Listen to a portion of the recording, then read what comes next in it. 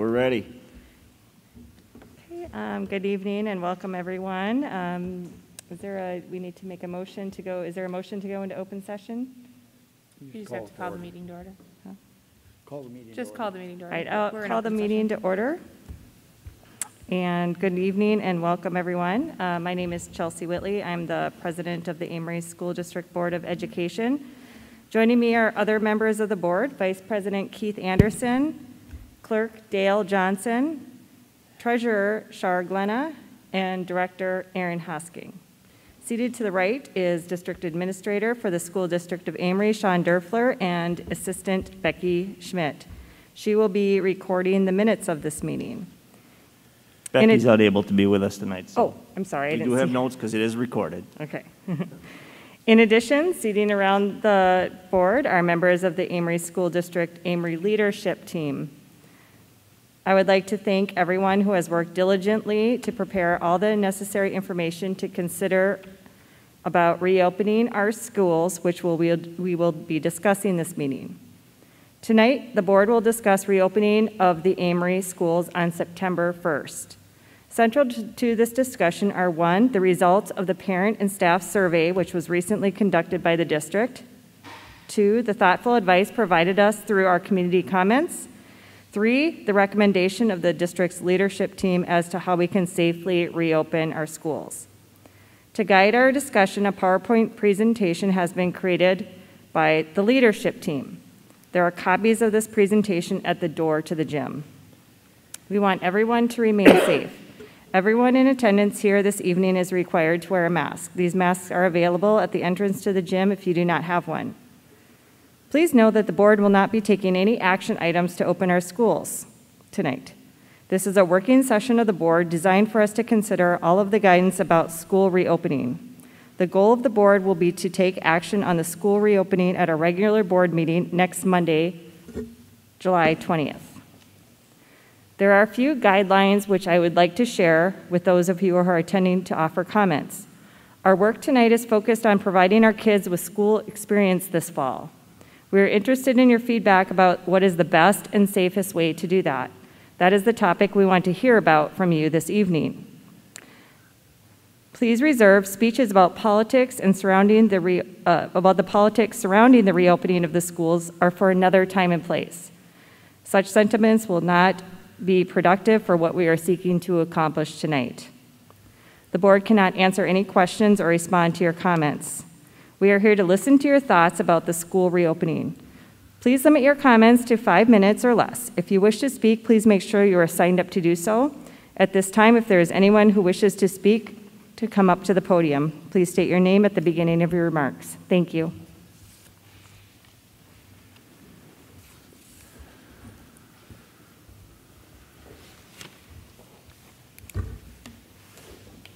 I'm Josh Gould, Amery High School principal.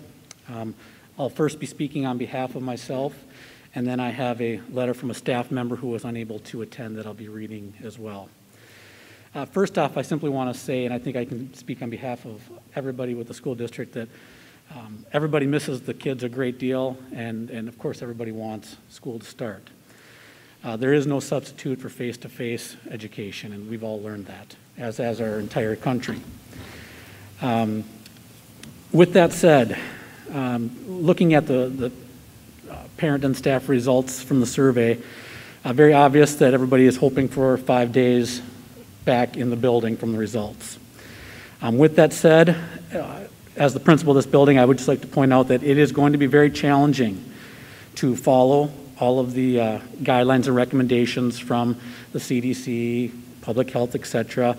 Um, 480 plus students in here, 40 plus staff. It will be very challenging for socially distancing purposes as well. Of course, we'll do our best, but I want to make sure we're very clear on that. Um, We're not in a position to hire more teachers, therefore to have smaller class sizes, which is not an option. Um, About the only thing that we can do from the recommendations, from, from my standpoint, completely and effectively, would be to wear masks. Um, That's the only guideline I see that we would really be able to follow all the time to the fullest of extent.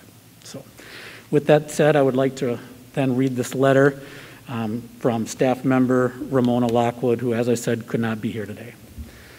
Thank you to the board for working with our community and staff to find a safe solution for our students to return to school. As an older staff member who has been in the district for almost 30 years, I am concerned about the safety of the students and staff during this pandemic. The CDC guidelines are very clear that masks and social distancing help reduce the spread of this deadly virus. All students and staff should be required to wear masks except for the babies and toddlers in Clubhouse. In addition, the students in grades 6 through 12 should have a rotation hybrid schedule so there are fewer students in the building at a time. We have invested heavily in technology over the years, and now it is time for us to take advantage and utilize what we have available to help reduce the spread of COVID 19. Most 612 classes are 20 to 25 students and sometimes more. There is no way to social distance that many students at a time, and they switch classes all day long. Both issues, the class size and the switching each block, which will mean more spread of the virus. If we can reduce the number of students in the buildings each day, it will reduce the exposure for all. Please consider implementing a system for parents and staff to request virtual learning because of underlying health conditions. These are unusual times and we need to be flexible. The other day I was chatting with my grandmother, who will be 90 later this year, and she told me that school was frequently shut down when she was a child. When I asked her why, she said polio outbreaks and flu outbreaks. With all of the technology and medical advances, we have forgotten that previous generations have also lived through pandemics. It's important for us to keep perspective and keep the safety of our students, staff, and community at the forefront for all decisions. Our, our county is currently listed as a high level of COVID 19 activity on the Wisconsin DHS website. Now is the time for all of us to pull together to stop the spread. Thank you, Ramona Lockwood. Thank you for your time.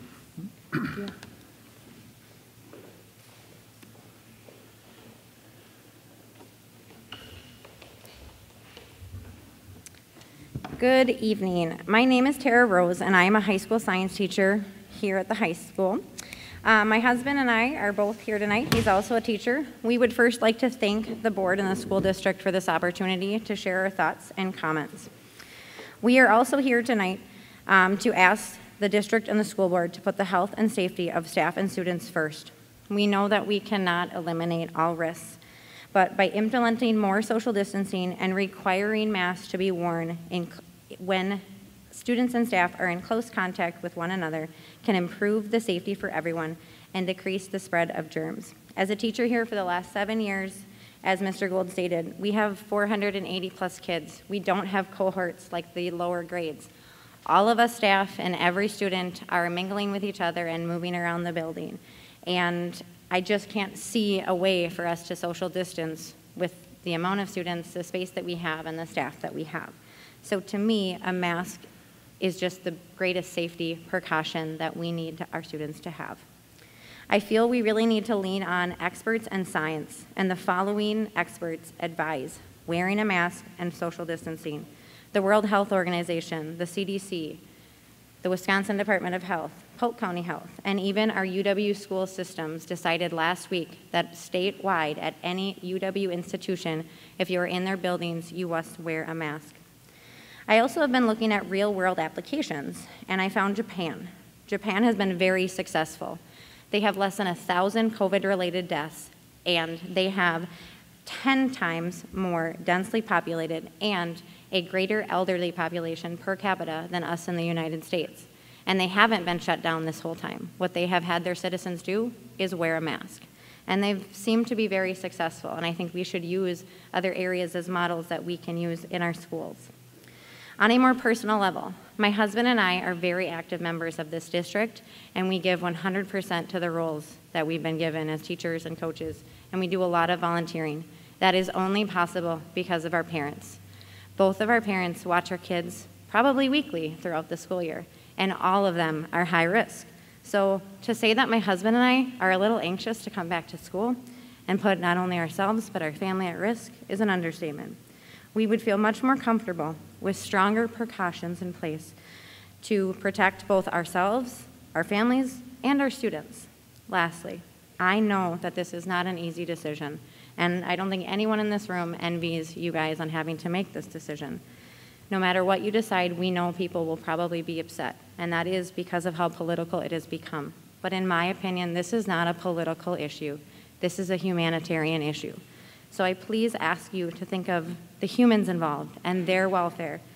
And the last thing I will say is that I hope we are trying to be proactive because it's going to be very hard if we don't require masks and we have an outbreak and we want to require masks a, a month or two later. The more proactive we are right now, the more likely we are to keep our kids and our staff in schools longer. And we saw last spring, the best education is when we're face to face with our students. So we are asking you to please not just recommend, but require that staff and students wear a mask.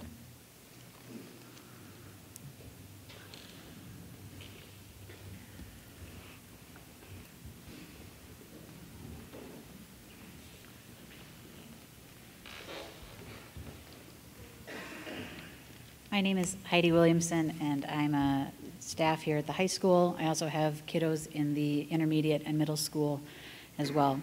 Um, a lot of what I'm going to say echoes what Tara has said, so uh, remember hers, it's probably more eloquently said. Uh, I contemplated speaking tonight because I, I don't know that I have the right answer. Uh, this situation has been really hard to navigate and to, to deal with because it has been really politically charged. Um, we constantly are seeing shifting and conflicting data, and we know that people can use whatever data exists to support whatever side of the argument they sit on. I'm a person that likes to know what the right thing is before I do it, so this has been a hard environment for me to live in. Uh, so, as I've tried to negotiate these realities in my own life, what I have resigned myself to doing is uh, following the following motto do the least harm. And in order to determine what that was, I've asked myself, what if I'm wrong? So when we think about wearing masks, if we think about what happens if we're wrong in our decision, um, if we wear masks and we find that masks didn't actually help prevent the spread, what are we wrong? We may have looked silly, it's been uncomfortable, it's annoying to put on for sure. But if we don't require masks and we find out that it could have helped prevent the spread, what if we're wrong? We've put our staff, our students, our extended family, and our community at risk. For me, if I'm wrong, I would rather err on the side of caution and protecting people. I think there are some other things that we can look at as a district, and I'm not sure what conversations have been had at this level, so you may have already thought of these things, but requiring hallways to be one directional, so there's less face to face time. Um, and as we're mingling through hallways, staggering releases so that we're not allowing 450 kids to suddenly fill the hallways at a time, but we're staggering it. Those are logistical nightmares, but they can help and they can, they can reduce uh, the exposure that we have for our students. I'm not a teacher at the high school, I work in the library, and so I never went to college for classroom management. When I was starting at the school, I got some really good advice that said, in order to control the library, you have to start out strong. Start out stern because you can always work your way back. I think those are lessons that we need to follow. Uh, as Tara said, it's going to be a lot harder to go that direction uh, if we start out loose and, and don't, and then later require it. So, my ask of you as the board is not to find the right answer, because I don't think there is one. My hope is that you will instead consider what policies will cause the least harm if they are found to be wrong, and allow us to start off the year with strong policies and the backing of the district and the board so that we can remain strong all year long. Thank you.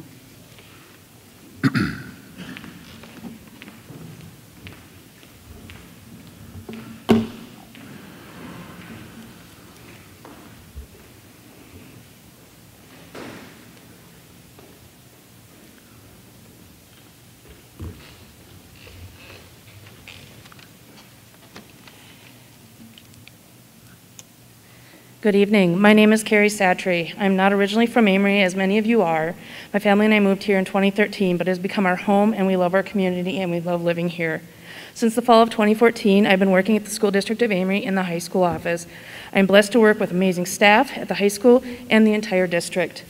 I'm even more blessed to be able to work with the incredible students that attend the high school. Working in, high, in a high school is not where I thought I would be, but I'm so glad I did because working with your students of the community, it's made it the most fulfilling job I've ever had. In my time at Amery High School, it has been my greatest pleasure to get to know the students, young men and women who have left a mark on me. Every day I go to work excited to see your kids, excited to hear their successes, to listen to their concerns and give them some TLC when they need it, take care of them when they don't feel well, and most importantly, keep them safe while they are at school. Who would have known that we now face one of the greatest dangers to our health and safety, the safety of our children and everyone we hold dear? We are being attacked by an invisible danger, a horrible virus that has changed every aspect of our lives.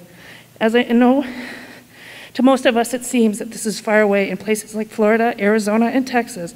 But one week ago, my mother in law, living in Minnesota, was diagnosed with it. She's doing okay, but it's been a very scary week. And she caught that from one of the kids in her daycare. So I'm here tonight to respectfully request Dr. Durfler and the Amery School Board to mandate the wearing of masks by all staff, students, and visitors to all buildings of the Amery School District as we go back to school this fall. I know wearing a mask is not a popular or comfortable choice for many, and it may be scary for some, especially younger students.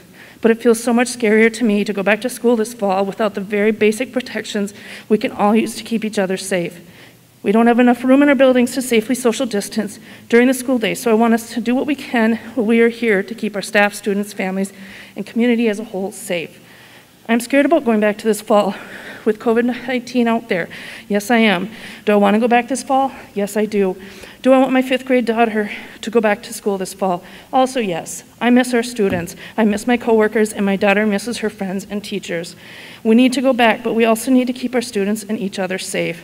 I will be wearing a mask at school this fall for the protection of our staff, students, and their families. Dr. Durfler, school board members, and the entire community of Amery, please be leaders for our safety and have everyone wear masks at school this fall. Let's all take care of each other. Thank you for my time.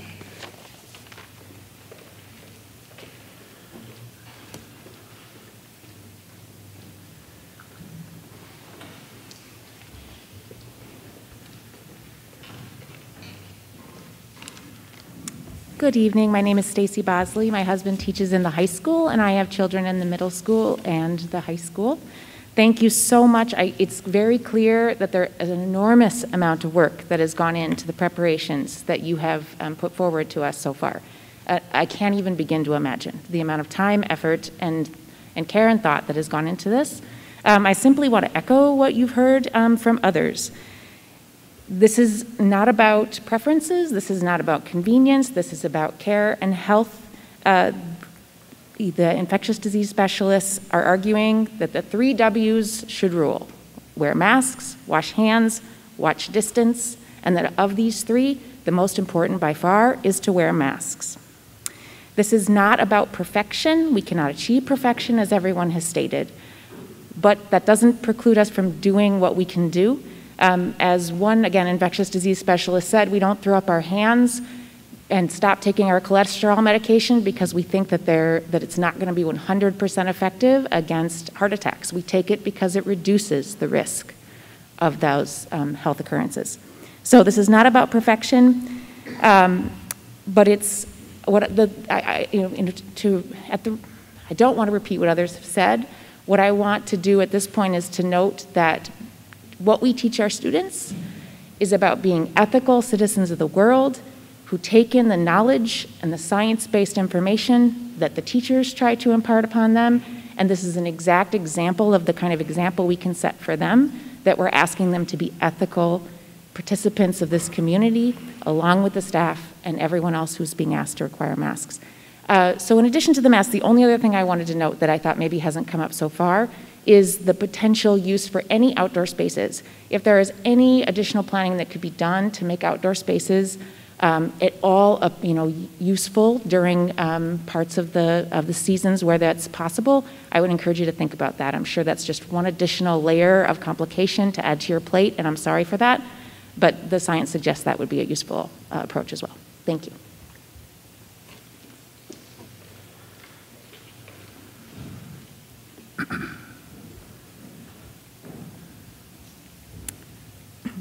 Okay, are there any other community comments? I have one that was sent to me that I'd like to read, so I'm going to do that at this time. And this message is from Tanya Seeger, and it reads I have many concerns with school reopening in Amery during a pandemic. It appears that many kids under the age of 20 experience little to no symptoms of COVID 19.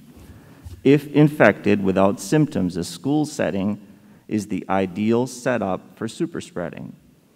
By hosting such an environment, the school district is putting the entire community at risk.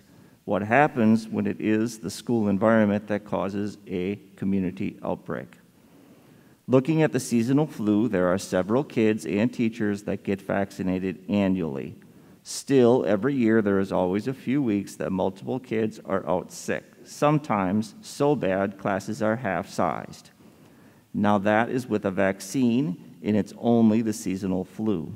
With COVID 19, we have no vaccine and no approved treatment. Sure, many people recover from COVID 19 but research shows that most of them have lasting health complications as a result of it.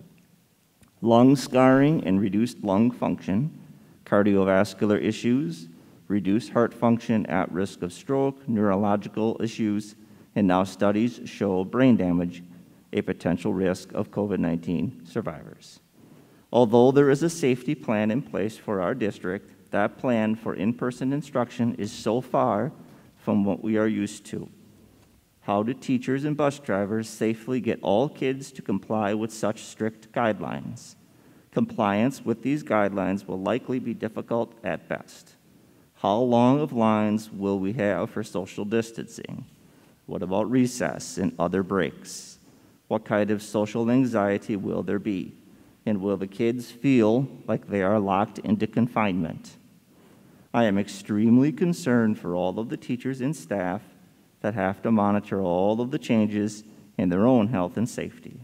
Plus, we never know when there is going to be an outbreak where multiple teachers and kids must go into quarantine and virtual learning. It seems that this constant unknown is far worse for our children's social well being than just going to all virtual learning to begin with. What I would like is that the Amery School District will continue to offer an option for virtual learning within the district to all families at all grade levels during this pandemic. I would like to see said virtual plan openly available to all families without restrictions.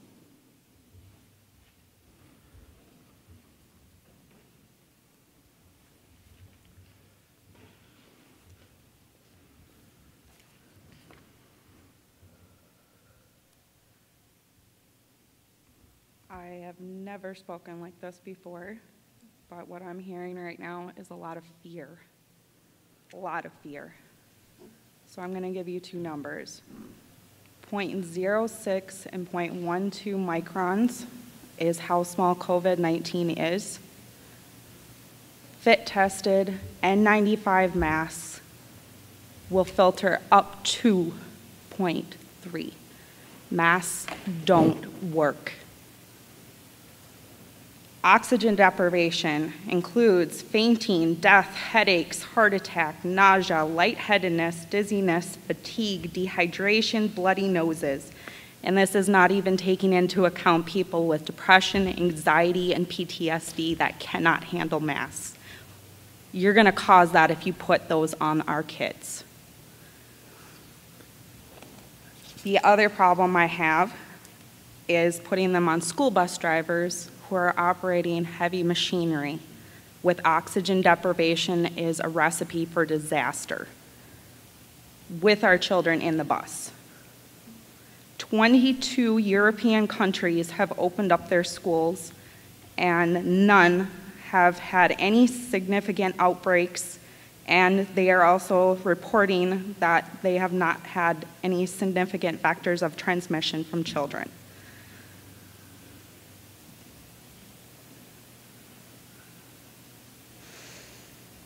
Children under one are 17 times more likely to die from the flu than COVID 19. 1 to 4 is 20 times, 5 to 14 is 7 times, and 15 to 24 is 1.25 times. This is statistically speaking, and these are studies that are coming out from countries, from the WHO, from the UK, the Netherlands, and Sweden. They have already opened up their schools. They're not having problems, and this is without masks. My child is in the clubhouse. He's not going to wear a mask. Young kids are going to be messing with it more than actually wearing them. It's not a possibility for the young ones. I looked up on the CDC website this morning, young children, e.g., preschool and elementary aged, may not be able to wear a cloth and face covering properly and particularly for extended periods of time. They say do not wear during exercise or strenuous activities. Intellectual and developmental disabilities, mental health conditions, and other sensory sensitivities should not be wearing masks.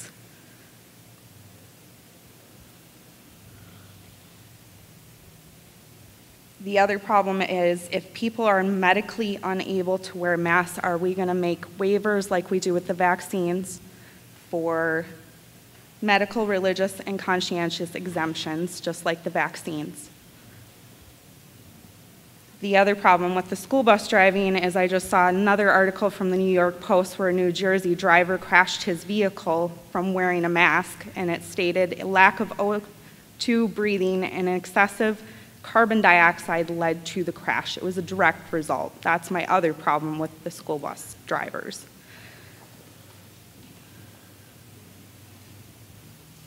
Wear them if you want to, but I won't live in fear. The numbers state that they don't work. It does nothing to stop for transmission because COVID 19 is too small. Masks don't work, and my son will not be returning to Amery School District if you require masks for him. Thank you.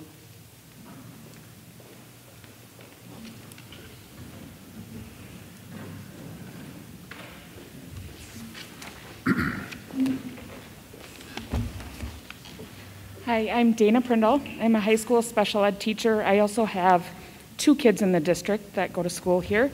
Um, I have no question whether or not I know you as a board will make a decision with the student's best interest at heart. Everybody is here for the kids. As a special ed teacher, I just want you to know how hard it was for our students to not be here in the building. Um, they don't get what they need virtually, and they need the consistency, some of them, of being here and seeing us. And so, just when you're going to think about that, think about there's some students that very much need to be here. The other thing to, that I ask myself is so I work in a lot of areas of special ed. There are some students that are, have significant needs that I don't know how we would physically keep a mask on them. Um, they don't understand what's going on, and, but yet they should be able to be here. So.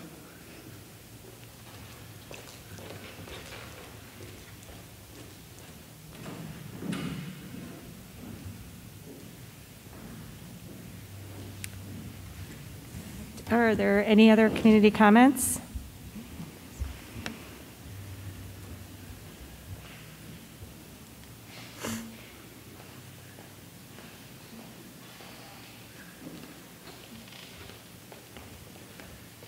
Hello, my name is Josh Schmidt, or good afternoon, I guess, or evening now. Um, parent of five, um, been in the St. Croix County, Polk County area my entire life.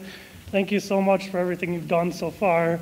This is really great to see, really informational. It's nice to know what the public is thinking, so thank you for doing this. Um, I guess my opinion as a parent with this is I'm okay with masks. I'm okay with those type of requirements for the kids. I don't think over time, if, it, if it's possible, that's great. And to have them do it is not a big deal. And I agree with some children may not be able to do it, and there may be some type of waivers that you can do or something like that. Um, but I know my kids are going to benefit from being here, being in front of a teacher, being around people, being around their friends, getting that type of education. I also seen really good things in the online learning. On some of the classes, with some of the teachers, um, Specifically, I think it was middle school science. I think it's Mr. Omens, if I remember correctly. He did a fantastic job with engaging my, my son, telling him what he needed, being a part of it, making it interactive, but I didn't see that across the boards. So I think we need to not just focus on what we're doing, but continuing to focus, looking long term, and building people that are doing it well, and giving that to all the teachers so they know how to do that. Not just, well, we're going to go back to school and do this, but let's do simultaneously. Let's get that online learning up to speed, up to par, up to where it needs to be, where all the teachers have that, that what they need to do this. Um, I get the social distancing is probably going to be impossible, and it's going to be scary for people. It's going to be things like that, but that's my opinion as a parent, and I just wanted to express that. Thank you.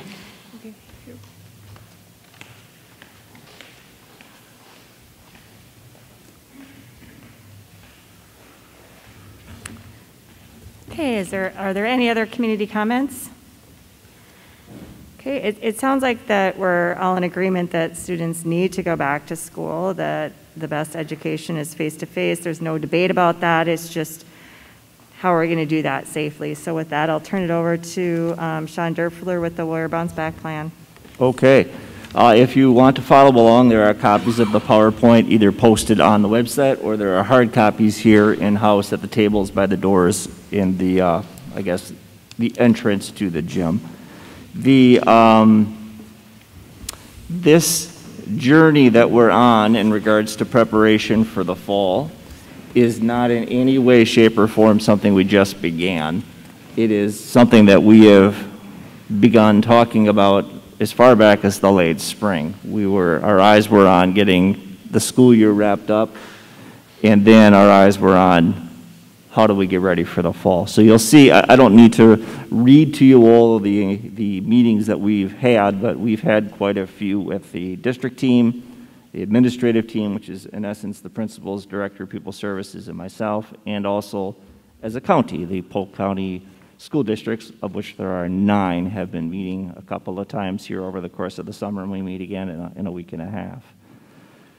Uh, in tandem with the various meetings that we've had, we sought to get feedback from the community and from staff. And you'll see there, and I apologize if your eyesight is um, not the best, and, and, mine is not when you get down to this size of font, but for the uh, for the ease of copying all of this, which took quite some time, we put two, two slides per page. So if you want to see a clearer version, you might want to go online, but it's all here. So the parent survey results, we had 550 respondents, and this could be parents of multi, uh, uh, from the same household. We simply didn't track it that way. We had 557 people answer the questions, is, is in essence what I'll say. It was equally representative, if you see just looking at the pieces of the pie on the page, from each of the four buildings in the district. So we heard from all parents of all four buildings. Uh, the heavy preponderance was with families that had one or two kids. There were a few that had four and five, and their comments articulated how daunting the task was to educate four or five kids at home. I can only imagine how hard that was. Okay, I got to click through that. I've got to follow directions. Okay, there it is. The next page, you'll see the results of parent survey question number three. What resources do you believe are of the greatest help to you? The uh, resources that were deemed to be of the greatest help were teacher instruction and teacher follow-up, followed by virtual meetings, whether that be Google Hangout or Zoom, uh, those opportunities, and then followed shortly after that the instructional materials that were sent home. Please remember that from the moment from which we were in school to the moment we went fully remote was the matter of 48 to 72 hours. So there really wasn't a whole lot of time to game plan. It happened awfully fast, as you know. So that was the answer, the answers to question number three. Question number four, in what ways did you provide support to your children during remote learning? The most often given answer was that they encouraged their student and they discussed how school was going. And certainly within the comments, the, the anecdotal information provided by parents, it was a daunting task to get home from your work day at 5 and then to educate your kids when you were at work all day, and they weren't receiving an education during the day. It's a matter of having to balance life, and it was a very difficult proposition. That's very safe to say. Question number six. How do you feel about your children returning to school in the fall? Uh, There, again, were 557 responses. The blue section was 321 folks saying that they were certain that kids would be coming back in the fall, and then I am likely to send kids back in the fall. That was 179 by my quick math, being a former social studies teacher, that's not always easy, was 500 of the 557 said that we're coming back in the fall. Then there were 57 folks that said we're, we're in essence hesitant to do that or we're just not going to do that. The seventh question, which model is the best fit for you, for your kids for the fall? There were 348 of the 557 stated 100% in-person instruction. And then the second category is what's in essence referred to as the hybrid, some here, some not here. And then lastly, 100% remote, which was in essence the experience of March, April, May. Question number eight. I would feel safer for my children to attend school if, and you could check all that applied, the most frequently given answer was social distancing is in place. That was the red, and that was 194 of the 557, followed by the district makes personal protective equipment available. That was 173 folks stated that.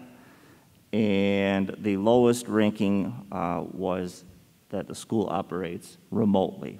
Uh, in that mass, they've been talked about here quite a bit already. I'll make note here of the 557 in regards to response. 137 folks indicated that they wanted that to be part of the landscape.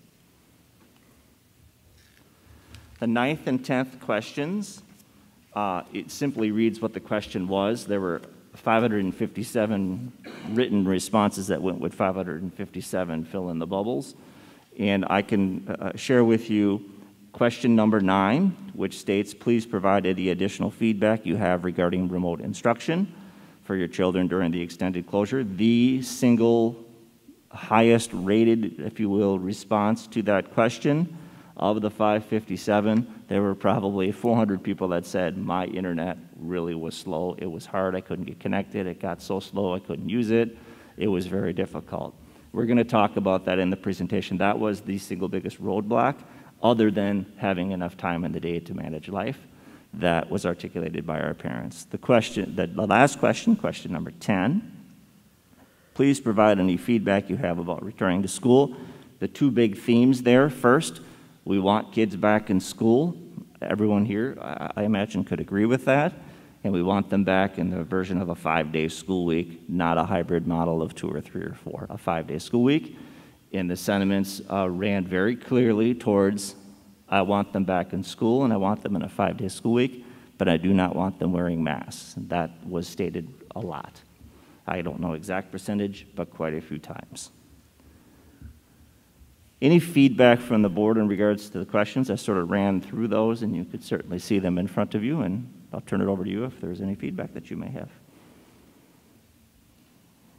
I appreciated having the survey sent out. I appreciated how many people participated in the survey. Um, I think that gives us a really good idea of what the community thinks, what the community wants, and um, ultimately that's our, our job here as a, as a board is to um, make decisions based on what the community's interests are. I thought it was a daunting number at first. I sat down and started reading them. I read through them all. It's very compelling to hear the different spectrum of, of issues that people had and the concerns they had. And so that's an eye opening that there were things that I didn't think about. And then there's things that brought more thought out. So I think that uh, the survey was great and it's going to be a good discussion for us to, to find out what, what is going to work best. It was a good tool. Sean, on, on number 10 there, you had made the comment. Can you just repeat your, your response there? I think you said, uh, our parents said, we want the students back in school, but a number of them said without masks? Correct. The, the, the trends were five day school week, uh, not a hybrid model of instruction where people are having kids home and at school, depending on the day and so forth. And the other big theme was, but not having kids wear masks. That was stated quite often in the comments. Uh, Again, I don't have a percentage exactly how many, but probably a quarter to a third stated that.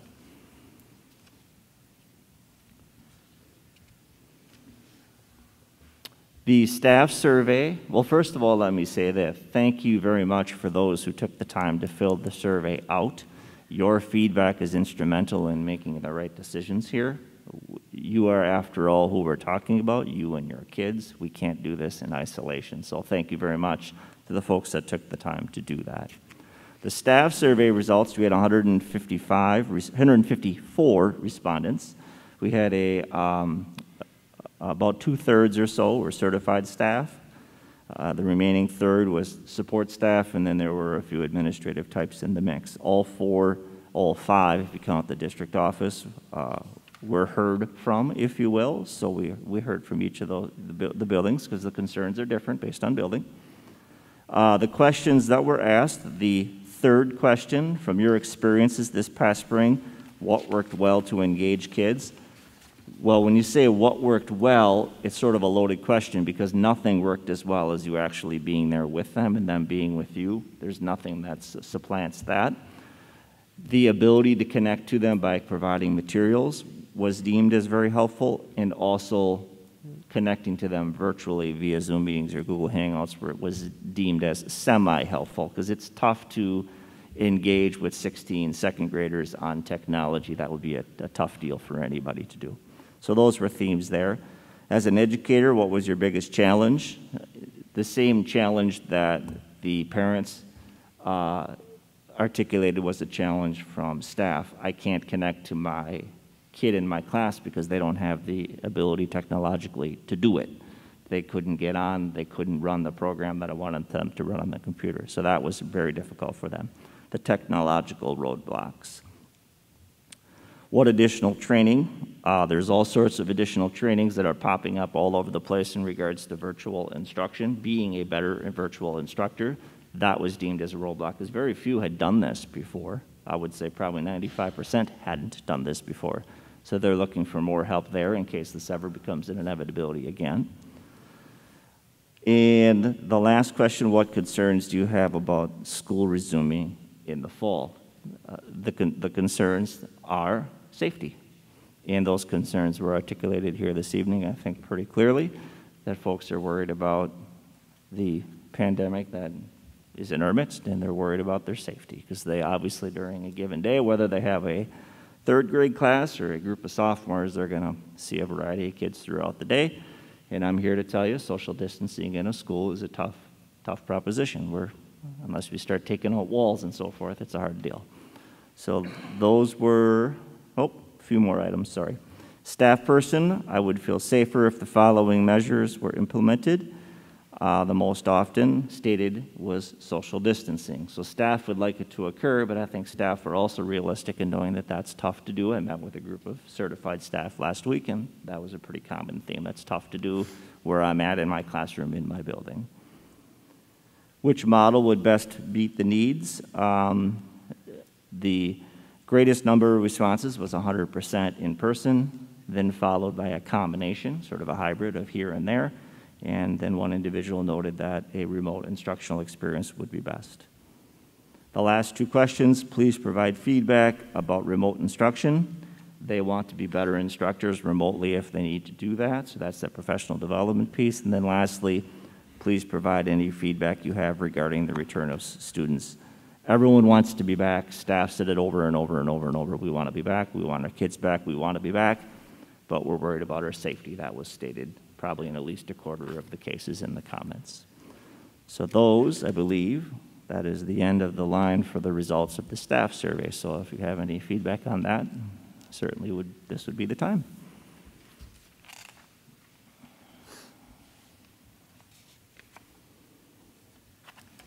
I want to thank the staff for taking the time to fill that out um, and to share their feelings with the board. Um, I thank the staff who spoke tonight in community comment um, to make sure that those sentiments were heard. Um, I think that their sentiments echo all of our sentiments of getting our kids back in our classrooms because we really do have top-notch teachers here, and there's just no substitute for those teachers that we have here in face-to-face. Um, It's a concern for all of us. How do we go about doing that safely for our staff, safely for our students, safely for our community, and all students? Um, As was mentioned already, there's barriers to that. There's, there's logistics to that. Um, I'm hoping we can have a good conversation about those things tonight, but um, from what the staff says, it's resounding to, that they're eager to get back to school too, with reservations. And I think the board hears those reservations loud and clear too. It's, it's a tough, tough decision. After reading through all this, both uh, community and staff and that, the one thing I I ultimately came up with was is, we can do this. The loose cannon on the deck is what's happening out there, you know, and so we got to have our community, our parents, and our staff all being responsible so that, you know, when those kids come back, if they're wearing masks or not, or how they are, that what they're doing outside of school is, is in a responsible manner, not to, you know, infect or, you know, risk what we have inside the school. Because we can do the best thing here, but when it comes in from outside, that's our risk that I, I look at and say, but I think Amery is superior in that fact. They know, and the parents know that we need to make sure that all our kids and staff stay safe. And so that's what I'm hoping, but I, I, I guess I, I, I know we can do it. We just need the help of everybody, excuse me.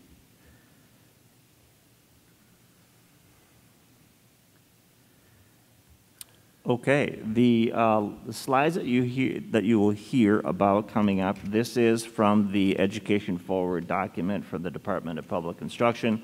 This was not my creation or the district's creation by any means. Simply want to sort of chart the landscape of where we're presently at, and then we'll get into the essence of what we're proposing here as a district. So, without any further ado, I'm going to run through that. The goals of us returning to school, and I'm not going to read slides to you, you have it in front of you. I will paraphrase. We want to keep students physically safe. We want to make sure their social and emotional needs are met. They've been away for, if you get to the fall, a better part of six months. That's a tough proposition for kids. Uh, keep, keep learning coherent, as in we lost some time here over the course of the last part of the school year and um, in through the summer meeting the needs, needs of every student. That's, that's tough to do when you have a distance learning proposition. Uh, designing flexibility, flexibility into school schedules, built-in environments such as portable classrooms, protocols, so to do things differently than you, than you were before. I'm, I'm here to tell you it's not going to look the same as it did at the beginning of March. It's, it's going to look different. It has to look different if we're going to respond in kind. So those are the goals that we have set before us the public health assumptions around, around this is certainly is a moving target, as you know. Virus remains in circulation. When schools reopen, we're going to have to come up with ways to, to screen students and staff for symptoms, to socially distance, to isolate, and timely remove students who are not well, displaying symptoms. There are deaths from COVID-19, uh, and there are a, a, a greater preponderance of deaths with children or family members who are high, ri- high risk already, as in have a pre existing condition. We have to entertain that. There are homes where there are folks that have issues with pre existing conditions. Uh, the fear and loss and isolation may result. Increased mental health supports are going to be needed. And lastly, we have to communicate with all of you. And hopefully, we have done that thus far, and we're going to continue to do that because you need to hear what we're doing. Student equity. This, this situation has created some inequitable experiences for our families. Some folks have internet that was spot on and great and worked and wasn't an issue, and others didn't have internet at all. Some folks are able to work from home, and some folks aren't able to work from home. Some folks have kids that have specific needs that instructors need to address, and some folks didn't have that. So there were all sorts of inequities that existed, and we need to attend to those with whatever plan we create when they return in the fall. So that's in essence what, what this slide uh, imparts. The learning landscape, uh, we need to monitor the guidance affecting our communities, uh, there is the in-person version of instruction, a physically distanced version where you're in larger environments such as outdoor classrooms or at other settings altogether, and then the virtual opportunities. There will be new health and safety protocols that will exist that we'll have to learn about and implement potentially. And lastly, the current data suggests that this is going to be a dis disproportionate burden of illness and death among racial and ethnic minority groups, so we have to keep our eye on that. In addition, we have to provide a positive educational and social interaction. We have always sought to do that in the School District of Amery, and nothing has changed on that front. And we need to keep an eye on those who are in high-risk categories. We have staff that are over the age of 60. Uh, we have staff with underlying medical conditions, and we have students who live with those family members. So we have to be attendant to that. Our district leadership team, and you see uh, most of those folks here this evening. We've been spending quite a bit of time on this. Uh, so those are the folks in the particular areas, and you'll hear from some of them this evening. I'm not going to be the arbiter of all information. If there's a subject that comes up that someone can speak to better than me, we're going to have them at the mic, and the board can hear from them. The Polk County District Administrators and the Polk County Health Department have met twice, and then we're meeting a third time here in about a week and a half. Uh, all of the districts in Polk County are, are, at this point in time, as of a call I had today with all of them, on the same page with what their recommendations are going to be. In nearly every case, they're recommending a five-day school week. In nearly every single case, they're recommending that staff are required to wear a mask. In nearly every single case, they are not requiring students to wear a mask. That's nine for nine in, in this county. And we've had that conversation because the group that we work with is Polk County Health. Now I know that logically we spent a lot of time in the Middle Border Conference, but six of those eight schools, Somerset and Ellsworth and Prescott, they're not in Polk County, so we're not having conversation with them as much right now, though that will be an athletics conversation we're going to have to have. So we've had a lot of conversation within the county. They have board meetings that are coming up over the course of the next two weeks, just like we have here. There is the in-person version of learning, that is our recommendation. The district leadership team is recommending that Amery Schools open September 1st as an in-learn, in-person learning experience. 93% of parent respondents wanted a full-time or at least part-time experience where they were in person, and 80% of staff said that. So I think it's a pretty safe um, assumption to say that people want to be back in school. There are a lot of other options. Here are four different options on this page. There's a four-day week, a two-day week rotation and A-B schedule, and an elementary in-person, secondary virtual schedule. Now, I'm going to stop talking for a moment, and I want folks to be able to chime in here on the board if you have thoughts about something different than a five-day school week, because there are lots of other things that other districts are intending, perhaps going to implement here in the fall.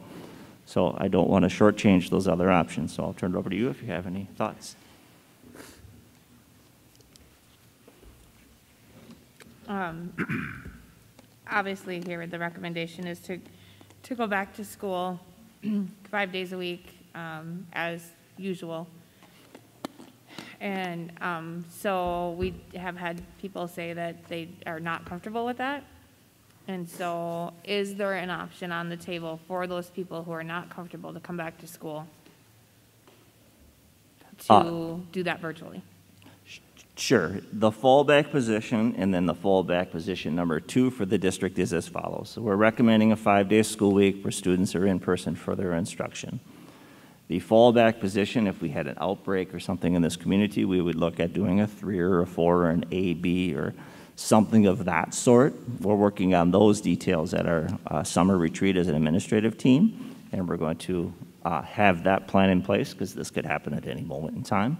In our third fallback position, or I guess our second fallback position, if the state of Wisconsin closed us, then we would simply be home remotely sending materials and doing virtual instruction, though we have to do a better job with virtual than we did before, and we have no excuse not to since we've had some time to plan. The other time, we'll, we'll take a mulligan on that one because we had 48 hours to do it, so to speak. In regards to your question, Shar, will a family have an option to be able to do virtual if they don't simply don't feel comfortable in being here? Absolutely, positively, they will. All we ask of families is really to do two, to do three things. and in the form of an application to do that. The first, what is it that they want to provide, want us to provide for them as a family educationally? What would the plan be? Two, why is it that you're requesting that plan be in place? And three, what would your role be in making that plan a success? And we've already created sort of a, a, a short form application for that. Because what we can't do is on some random Wednesday in the middle of September, somebody's articulating, well, I just don't feel safe and we need a virtual education for my kid, and please send home stuff today. That's going to be very difficult because that would be one kid. What if we have 175 kids in the district do that? That's going to be impossible to sustain for instructors because they'd be teaching all day long, and then after hours or any prep time during the day, they'd be doing virtual, and that is unsustainable. So we want to know who they are prior to the school year, and we want to go ahead and provide them what they need before the school year starts. Is there So a that would deadline be in the place for question. that? I'm sorry, Sean. Is Go there a ahead. deadline in place for that? We haven't established a deadline, but it makes sense to me that we would need to know that well before the school year starts. Our goal is probably the middle of August to be able to know who you are. Because when you responded in survey, the 57 folks that said we're hesitant to be back or we're not coming back, we don't know who they are. They just responded that that was their answer. So we're going to put out the call, if you will, and you'll let us know, and we'll work with those families. It's a, it's a quicker path from the question being asked about virtual or remote to it happening if you have a situation where a student has COVID, or they have someone in their home that has COVID. That's a much quicker path because there's obviously a very easy answer to why are you doing this? So these, these applications, um, they're, of, of the reason why they want to do virtual, that's pretty much discretionary, Mhm. correct? Yes. I mean, it can't be, I mean, basically, they should have a compromised health or some reason why, medical reason why they can't attend school in person. We, we, we're simply asking folks to articulate their concerns, and, and I'm not here to be the judge on concerns. I'm simply here wanting to know who they are so we can work with them via building principals to make it happen. Because it's going to be difficult to do if we sort of make it up as we go. Having that information ahead of time would be very helpful. So that's our goal. How um, does this impact staff who are concerned or hesitant or reluctant to come back to school themselves? Well, there are a great many HR-related questions in regards to the safety of staff. That's a very well-founded concern. You're putting yourself in the midst of others when in many cases, folks have been socially isolated since the middle of March.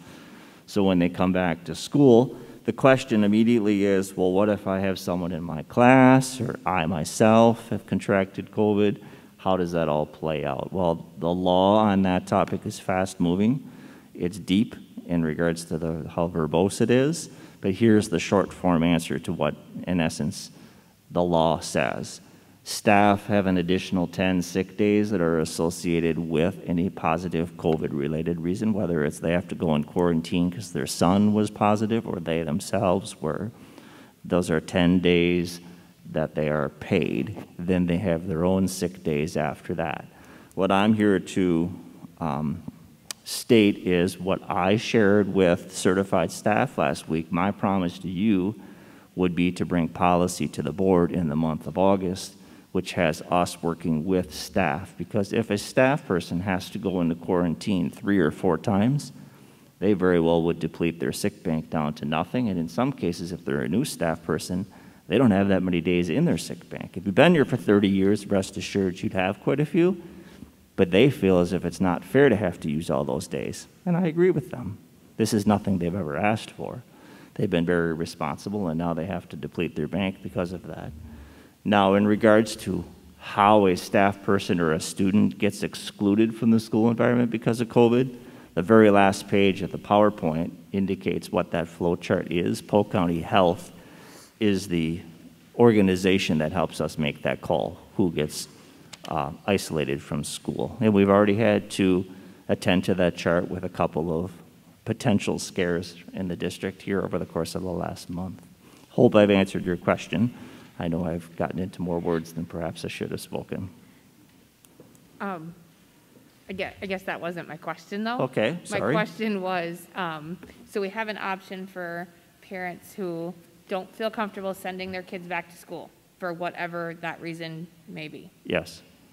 What is our option for staff who do not feel comfortable coming back to school?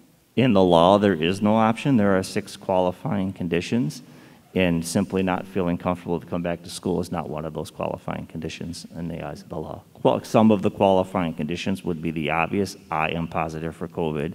I have a family member who is positive for COVID. I am directly ins- responsible for a spouse that is COVID, that, those types of things. But there isn't for, I'm generally nervous about coming back to school. It's not a qualifying condition. Good question. Are there other questions? And specifically perhaps about the options for school weeks other than a five-day? Are we aware of any staff that would not want to come back to school because of? Uh, No one has formally declared that intent to me or to a building principal that I, or a supervisor that I'm aware of. Are there folks that are concerned? I would say with certainty there is, but no one's articulated, I'm not coming back to school. No one said that to me. And no supervisor has reported to me that I have a staff person that's not coming back. You'll probably hear more from staff after the, um, after we develop a safety plan. on Maybe. Next Monday, when they actually know what they are, are Yeah, maybe not so. required to do. Because right now, it's up in the air, nobody knows, so. I know, I guess I think I would just, it would be helpful to know if, before we go into making those decisions, how, I- there's some staff who spoke about it tonight, um, just their concerns, but I, I think, I mean, if we were to know, um, if you don't this, then I'm not coming back, or I don't feel comfortable coming back, um, do we lose teachers because of it? Do we lose admin because of it? I don't know. And those, I, I would like to know before we have that. Before Monday. Yeah, before we make those decisions. And then, then the decision's been made, and then we hear, well, I'm not coming back. I will ask the question and see what folks have to say.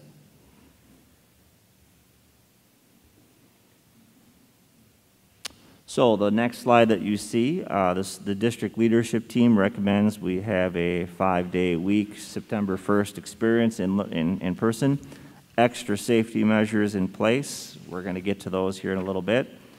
And this is the recommendation strongly supported by the American Academy of Pediatrics, meaning specifically to have kids back in action. And it's a lot about social and emotional wellness, and I don't know that anyone would be very surprised by that. Instructional programming, the leadership team is recommending that the district begin with in-person instruction. The fallback option is sort of that hybrid. And then the third is an entirely remote virtual learning experience. And I'm here to tell you the third option there on the page is, in essence, a school closure type situation. And where that goes, I, I couldn't even begin to tell you. No idea. Bus transportation, um, from the get-go on this, the, the, the biggest area of concern that was brought up was the impossibility of socially distancing on a bus. You have a bus with a capacity of 78 kids, that's a standard bus capacity. If you socially distance a bus, meaning six feet, you're separating kids by six feet, you will get 11 kids on each bus. 11 kids out of 78, so your bus capacity is about 15 or so percent. We bus on a given day about 750 in the morning and about 750 in the evening. Our bus routes typically run from beginning to end from the moment that a bus driver arrives in the bus garage to the time they depart, about an hour and a half. And that's true at the end of the day as well. But if you wanted to socially distance on a bus and do 11 per bus, your bus routes would run in the morning between 6 a.m. and 10, and your bus routes in the evening would run from 3 to 7 if you did 11 people per bus. That's impossible because what do you do with the kid that's waiting for the bus to come back not once but twice between 3 and 7? I'm not sure that there's anyone here that's volunteering to stay back with the kids until 6:30 when they get on the bus. And that's also inconvenient for parents. So, what we need to do is to reduce the number of kids that are on the bus. Not by kicking anyone off the bus, because any kid that wants to ride on the bus, we're going to give a ride on the bus. And we're not turning anyone away, but we're encouraging parents to drive them. That's the safest method and also is the quickest method by which to solve the problem of crowding on the bus. So, what we're going to do as a district, and this is going to happen at the end of July, we're going to ask everyone to declare their intent. Do you need bus transportation or you don't need bus transportation? So on September 1st, we can have a smaller number than 750. The hopeful number is 50% of that. We're shooting to be under 400. Districts that have asked about that, they have asked, um, have, have seen about a 50% decrease, as in people have said, I'm just going to drive them myself. So there is the potential to reduce that number. And we're going to need that number in place, in those names in place by August 7th. And then Tom, our bus transportation person who wasn't able to be here with us this evening, uh, we can reorganize our bus routes. Because in some cases we have 78 kids. Our biggest route is the Deer Park route, is 78. It's pretty much every single day. And we have some that are in the low 30s. So we can reconstitute some of those routes, and we can then uh, have fewer kids on the bus to be able to do that. So we're going to ask folks to make that intent, and we're going to be adamant that we hear from everyone because we don't want to show up on the first day and three kids are standing at the bus stop expecting a ride when we have to tell them, sorry, you didn't sign up. We need to hear from everyone. So we're going to have to aggressively ask for those answers. So that'll be coming here at the end of the month. Bus routes are already arranged to have the, the, the, fewest minutes possible. I'm here to tell you if you live out near Star Prairie, you're going to be on the bus longer than if you live in town. That's just the geography of the day. Students who ride the bus will be required to wear a face mask. Polk County Health has said very little that with certainty, but they've said that with certainty. It, though, to use the words of Polk County Health from last week, it is a no-brainer to have kids be required to wear a mask on the bus because there's no other place for them to go. There's no ventilation on the bus. Every single school in the county is doing the exact same thing on that measure, requiring kids to wear a mask on the bus. So that is the recommendation here this evening. And lastly, for bus drivers to wear a mask as well. Any questions about bus transportation? Because it's a big topic. So many. Um, what do we do for occasional riders? So we have kids who are in sports after school, middle school, and so they're not staying after school. They're staying after school normally for practice. Practice gets canceled. Mom, dad can't be there to pick them up, or somebody else can't be there to pick them up. They have to ride the bus. What do we do? So we're going to have to ask and ask again and ask again and ask again and ask again. We're going to have to continue to update those bus lists. And, and if the truth be told, Char, when we talk buses after school, we're talking athletics too. Because if you bring football to name your location, you're bringing the team plus the coaches plus the other folks involved, and you're, you're running towards 50 and 60 people on a 78 person bus. You're not socially distanced there at all. So that's a double bus route, which, yes, comes with it an extra price and an extra inconvenience of two buses. So what do we do? We're going to have to continue to ask and update those lists because it's unrealistic to say, all right, make your declaration for the whole school year on September 1st, or actually the first week of August, and that's your answer. You can't change your answer. Well, that would be unrealistic. We need people to be able to declare that intent, so we're going to have to continue to ask. I mean, what if practice is just canceled that night? I mean, for whatever Yep. reason, weather or whatever Yep. reason. Um, and then all of a sudden, what do we do with weather in wintertime? School's out at Right. one o'clock and parents aren't planning to pick their kids up until five or whatever that night. What do we do then? Well, we typically don't do an early release, but your example of all of a sudden a kid has decided to ride the bus, that's entirely realistic. It happens rather frequently. We're going to have to be a little more steadfast about who's on the bus and who's not, because if we have a, a hard and fast number on September 1st, if that goes out the window by the end of September, we're right back to 750 kids on a bus, and that's not going to work. We we won't be able to socially distance. If we're doing double and triple bus routes, that's going to be impossible.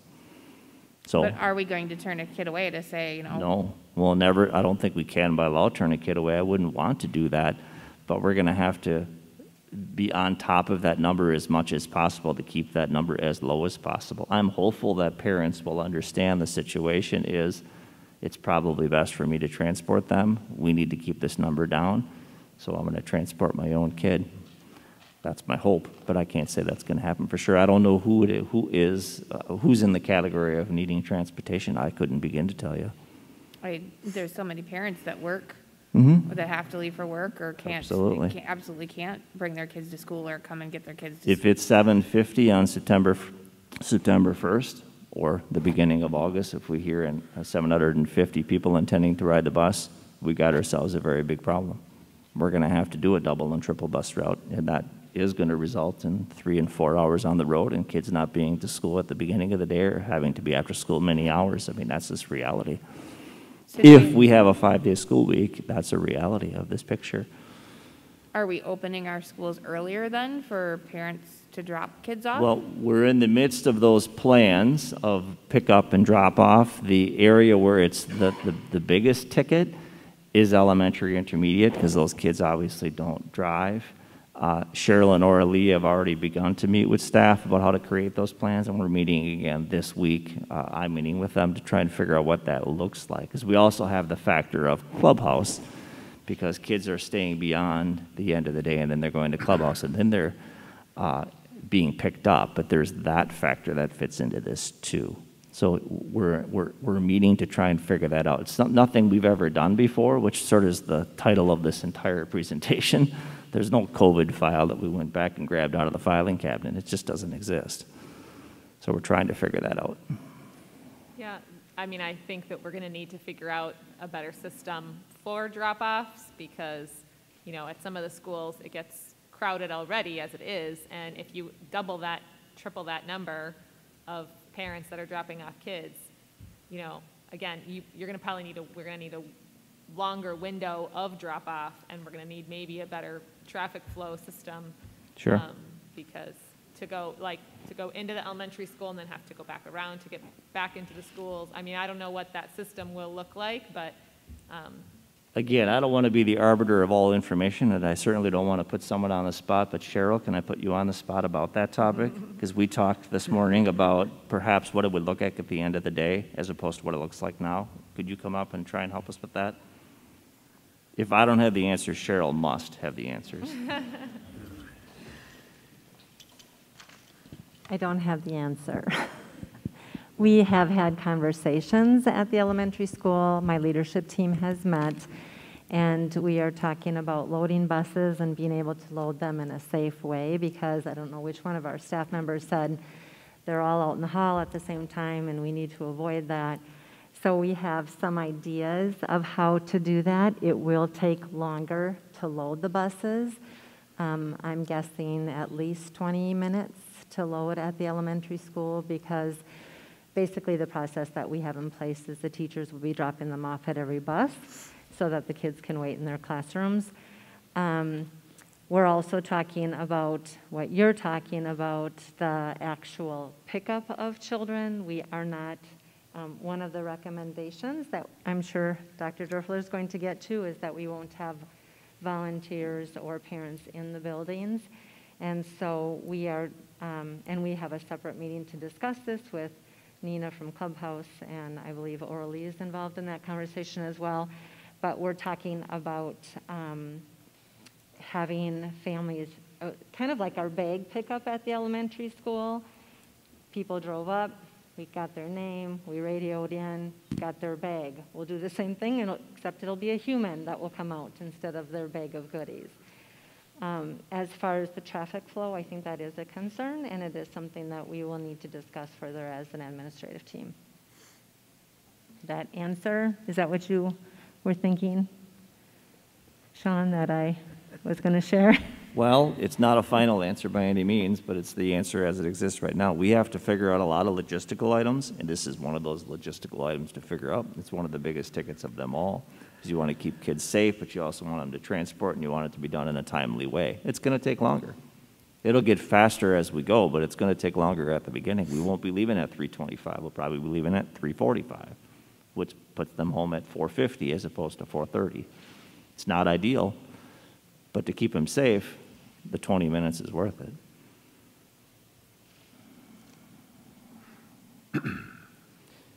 In regards to high school and middle school, I'm not here to say that those kids don't ride the bus. They do, they're just not as frequently riding the bus. We have kids at the high school. It's, it's probably cooler to leave high school and get in your own vehicle than get on the bus. Having been in high school and having been at the high school, I get that, but some kids ride the bus. And they're going to have to have the same accommodations. We don't have as many, so there isn't the traffic flow out of this building. It just doesn't look like that. It looks like that at the elementary and intermediate. And yes, I'm here to tell you, this is not a secret. We do have traffic pattern issues on campus at the beginning of the day and the end of the day. If you get here after 7:50, find something nice to listen to on the radio because you might be in there for a little while. And that's a reality. So we're going to have to figure out what that looks like. So the conversation has already begun. Other questions about school transportation? So if we have parents declare if their children want to ride the buses by Friday, August 7th, Yes. does that give you guys enough time to put It, plans in place? it does. Uh, Tom has software that can put together bus routes in a real big hurry. All the, all the kids are in the system. He, he literally can queue up any bus in any location and it spits it out in a real big hurry. Okay. But we're going to have to reconstitute some of that. But there are some issues where it just, there's nothing to really create. If you're out towards Deer Park or Star Prairie, it's not practical to run two and three buses out that way. But if you're in town, there are two or three bus routes that hit those kids. So that is just the creation of the geography of our district. Okay, here's another real unpopular question. Go ahead. If we're going to require kids to wear masks on the bus, who polices it? That bus driver already has so much to worry about and so much to watch. Correct. And then what is the consequence for the child not wearing the mask on the bus? Those are two very unpopular questions, but thank you. The, fir- the first question is who polices it? The obvious person is the bus driver, and I'm here to tell you right now it's not realistic to say that that's going to occur. They're A, driving the bus, hopefully keeping it safely on the road moving forward, especially in the winter months that they drive in. And B, they're having to make sure that kids are remaining in their seats. C, other related shenanigans of not remaining in their seats. And then D, you're now asking them to make sure we have kids with masks on. In some kids that wouldn't have masks, they're not doing anything malicious. They're simply taking their mask off and sharing it with someone next to them, which they shouldn't do, but that might very well occur. I don't think it's realistic to say you pull over the bus and you reprimand that kid. So, what are you going to do to a kid, if you will, that doesn't wear a mask? I don't think there's any consequence. We want to make sure that as many kids as possible are wearing a mask in the time they're on the bus. And thankfully, many kids are on the bus for 10, 15 minutes, not 45. I think it's a small ask on the bus for that short a time to try and keep us more safe. But is there a consequence, a slip or a suspension, or I, I don't think that's appropriate at all. And, and are masks going to be required on the bus for all ages? Because I know there's sometimes an exception for kids under a certain age. We can certainly write whatever we want to Okay. in regards to exceptions, and there are certainly kids that are older that it simply wouldn't work. They have a health condition or socially and emotionally, it just wouldn't be fitting for them. We would certainly be gracious about that. We, we don't want to in any way make things worse by the requirement of a mask. We're just trying to keep as many safe as possible.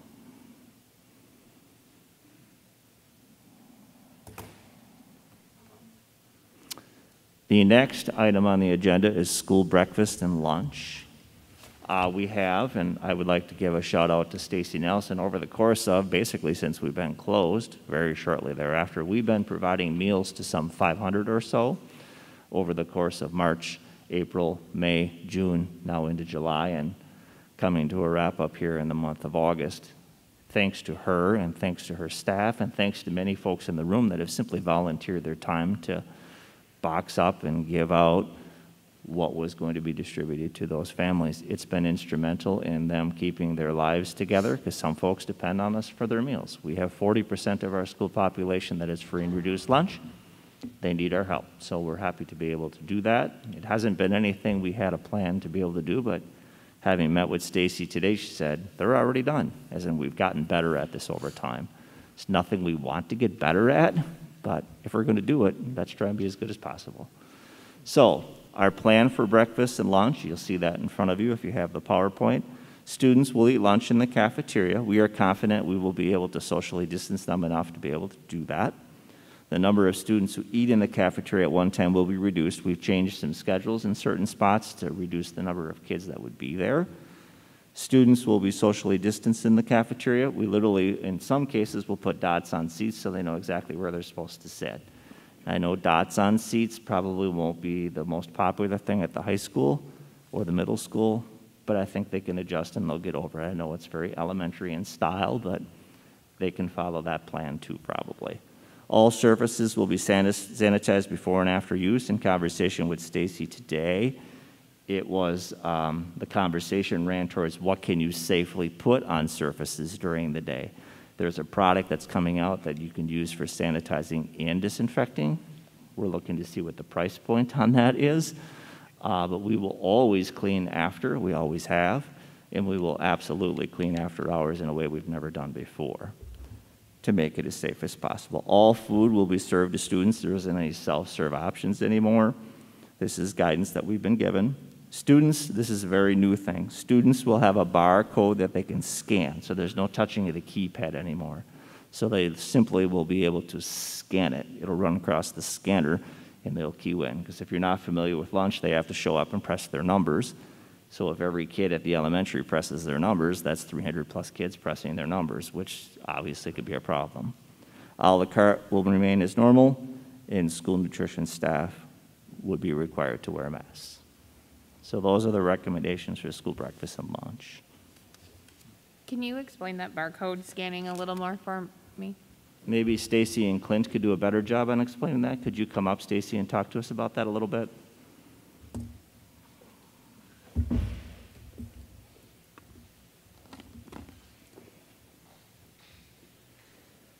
So the logistics of it are still being worked out and exactly how it will look. Um, Each grade level may be different. The elementary, I don't necessarily expect all of the kids to be able to be responsible for a little card. Um, Talks has been to kind of implement it in the same way that 4K currently goes through the meal line, and it's all on a sheet. So we would just match the kid with the name and scan it for them quickly as they go through. Um, Possible talks for the older children, um, kind of like we have our IDs on a lanyard, just kind of implement it in that sort of a fashion. Um, the goal is just to eliminate the high touch. So the ID card would essentially have their lunch number on it, the same number that they would punch in, just eliminating that. And they would be responsible for scanning that themselves? Well, my staff would still scan it. Okay. There would still be a staff there, but there's no touching, so a non-contact service. And then would, like the high, like anybody that would have a card, they would have to have their card with them every day for lunch? Or would they have a number that they could just tell the person standing there and taking the? Yeah, it would be the same number, so if they know their lunch number, they could always just give that. The issue of just going that route is that it's really loud in the lunchroom, so having a staff member try to hear every number would be kind of difficult.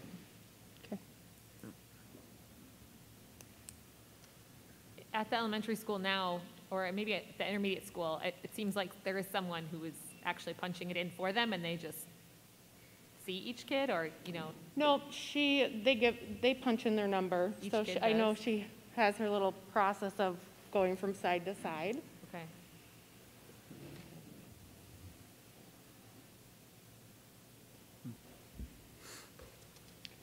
Other questions for Stacy in regards to the recommendations as a whole? Because I know I ran through a variety of stuff here on this particular slide. Oh, salad bar. So no salad bar at the high school, right? I know, I'm really sad about that. Yeah, I, I get that too, but could we, is there talks into work that, um, instead of just having it on the bar, like it's prepackaged and then the kids Yep. could just take it? Or that there's salads made and they take them? Um, last year, I think was the first year that we offered salad of the week. So we'll still offer that, and then I'm brainstorming different ways that they can still get, because they love it. They love the salad bar. Um, so even just portioning the toppings and letting them build it their own, but already prepackaged is kind of what I'm leaning towards. Okay. That's what I was thinking too. My daughter was very concerned. We will have salads in one way or the other. I thought you would. Yeah. Thanks, Stacy. Yep. Now, please note the recommendations as they exist are going to require more man-hours from food service to, to, to prep the items in the way that we're recommending that they be prepped, which does increase your cost. But I'm here to tell you, if we have an increased cost to increase safety, We're always going to opt for safety. It, it's just a reality of the situation. In the same way that it increases cost for bus transportation because you're paying a driver for a longer portion of time of their day. It's just a reality of the situation. Just for full disclosure, so that's out there.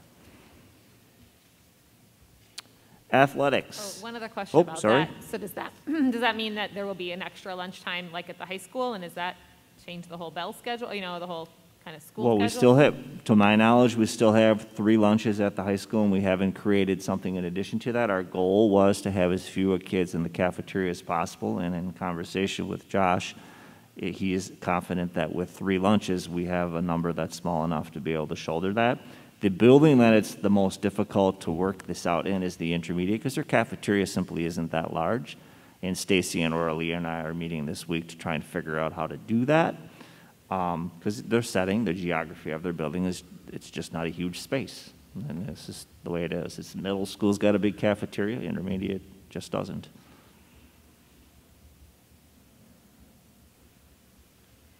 Okay, athletics. This has been uh, one of the more difficult topics of this whole picture because it all of a sudden the plug just got pulled, so to speak, in March, and then we were all gone, and then no sports were played. Literally, people had loaded buses and driven to state competition for girls basketball and were ready to take the court to play, and things stopped right there. We have a neighbor that that happened to, Clear Lake. And that was certainly met with much resistance, but as you know, this thing happened fast. So then there was talk about let's have a July sports season, uh, in that the spring sports season would then become July. It became difficult for districts in that a lot of kids have other things going on in July, some of which are seniors and they've left to do other things altogether. So the July sports season didn't meet with a lot of um, reception and it, it, it just it didn't occur. So now we're facing what do we do with fall sports? We have fall sports, and Mr. Fern's going to be up here in a minute. We've got them firing up here in a matter of three weeks. And I'm here to tell you that fall sports looks different based on the sports. So you see on this particular slide, in the example I gave in my narrative many times, there's a lot more social distancing in golf than there is in football. There's a lot more social distancing in tennis than there is in soccer. So that very much is a consideration here. Further, there is a difference in competition. We may be moderate risk or high risk, but we could be traveling to another place where the, the, the risk is low or the risk is high. We're heading to Arcadia to play football. Arcadia is three hours down the road. Who knows what their risk level would be there? But 75%, and please correct me if I'm wrong, Mr. Fern, why don't you come up to the mic, because this is certainly going to be up here soon, is with middle border competition. Baldwin and Ellsworth and Prescott and Somerset, et cetera. That's our conference schedule, and that's what we're looking at here after some non-conference competition in the fall. We're right into our conference schedule for all of our sports. So if you look at the next slide, it says different sports have different COVID risk. And you'll see there examples of high risk activity are certainly wrestling, football, lacrosse, rugby, competitive cheer, dance. Those are all where you have high contact and close proximity. Then your medium list and then your low list. The next list is the sports risk level, and that is something that Polk County Health has created. So I'm going to have Mr. Fern walk through that for us, if he could, please, and I will certainly help where I can. Yeah. So we're, we're really working with Polk County Health to make decisions in terms of competition.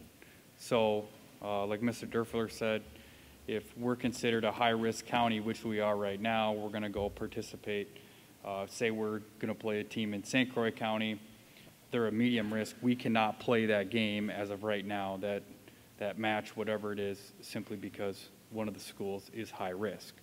Um, that's been black and white.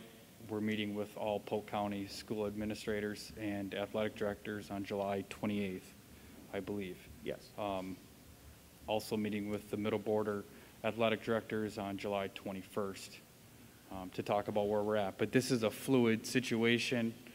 Um, We're going to really rely on Polk County Health to make these decisions um, in terms of if we're going to be able to participate um, in competitions. Um, I honestly don't foresee a championship season for the fall.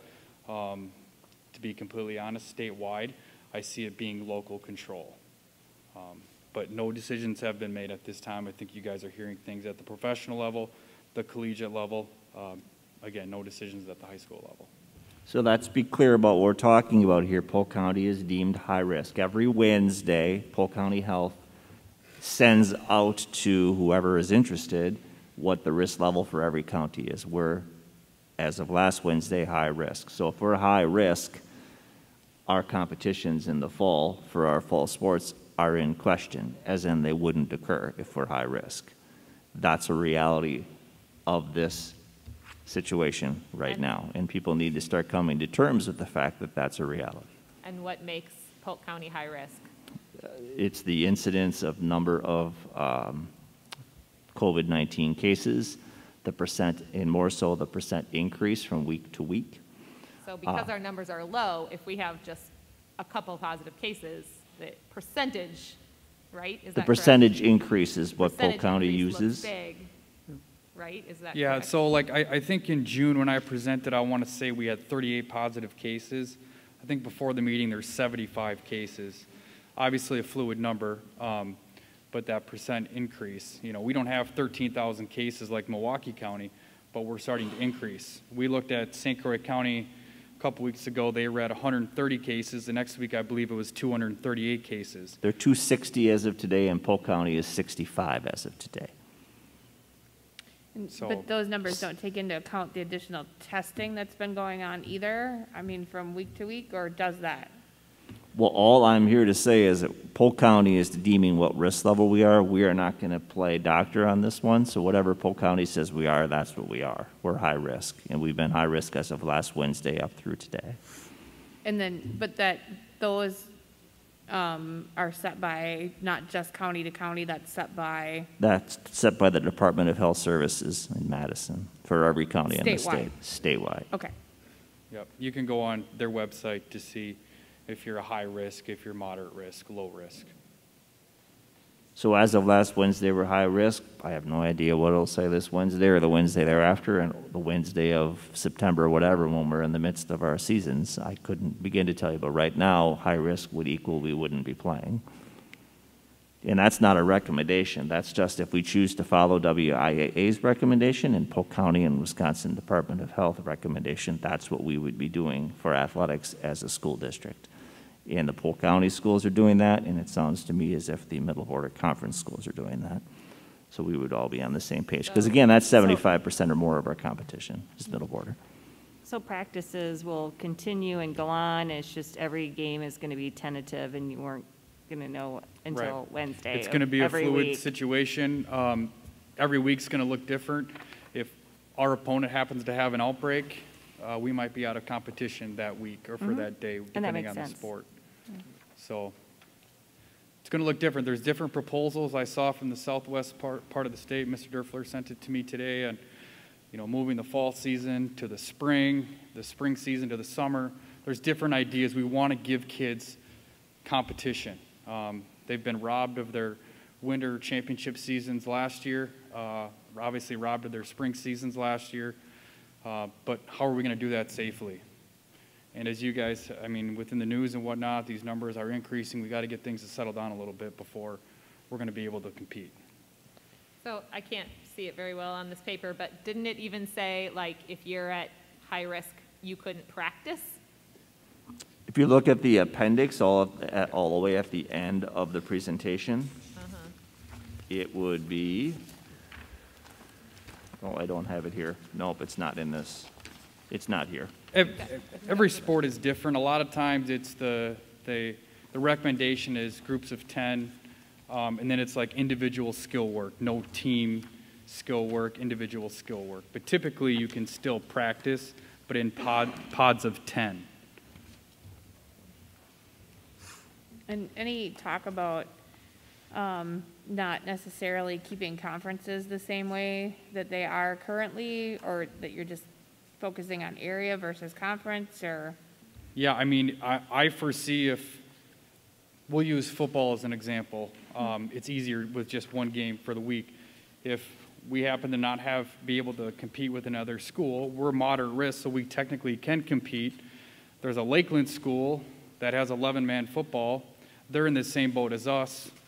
Wouldn't surprise me if we would try to work something out to give our kids an opportunity to play.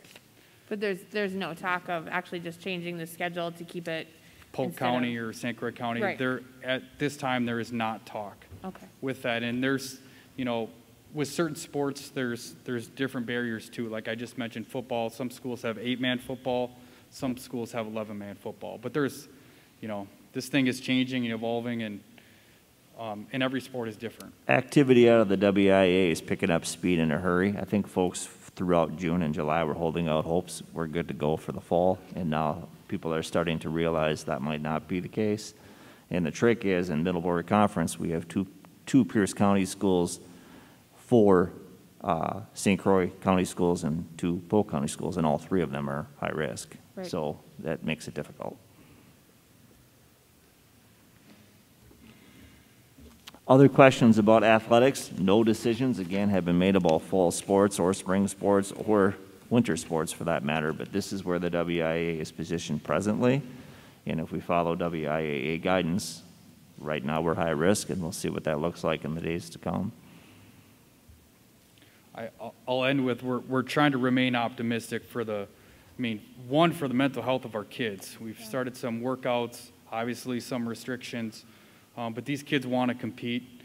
So we're trying to remain optimistic, and we're not sharing a ton of this information. Obviously, this is public, and you can share what, whatever, whatever information you have, but uh, we do have a few weeks on our side uh, that can work for us or potentially against us, too. Since you're here, um, weight room opened up July 1st, Correct. and how's that going? Uh, it's great. We uh, have six different sessions, um, 16 kids in a session. However, eight kids are in the, in the weight room, and then eight kids are out doing conditioning. We try to do the conditioning outside. Um, we've had a great turnout. We've opened it up to middle school students also. Uh, but all those sessions are full on the sign up. They're encouraged to work out in that same pod each week. Um, but I would say we're averaging somewhere between 10 and 12 kids in a session. And have So- we been able to kind of just stick with those kids sticking Yes. in that same sign-up? Yep. It slot? hasn't been perfect uh, with vacations and plans and Sure. work schedules and things like that, uh, but for the most part, it's been, it's been very consistent. And the kids are required to sanitize, right, after they get done, and how's They that are, yep. going? Yep. Self-sanitizing? Yep, and- it's good. I'll- I'll, to be honest, the social distancing is challenging. Um, You know, we're doing the best we can, but the sanitizing um, is going well. Um, Each station has a sanitizer, and then also in our auxiliary lift area too, there's different options for the kids to sanitize their, their equipment. Uh, It's kind of a new normal for them. They're supposed to sanitize before they use the, the equipment and then after they use the equipment. Um, And we've also increased our supervision for both our morning and our evening sessions to help with that. Okay. Good to know. Other questions for Mr. Fern?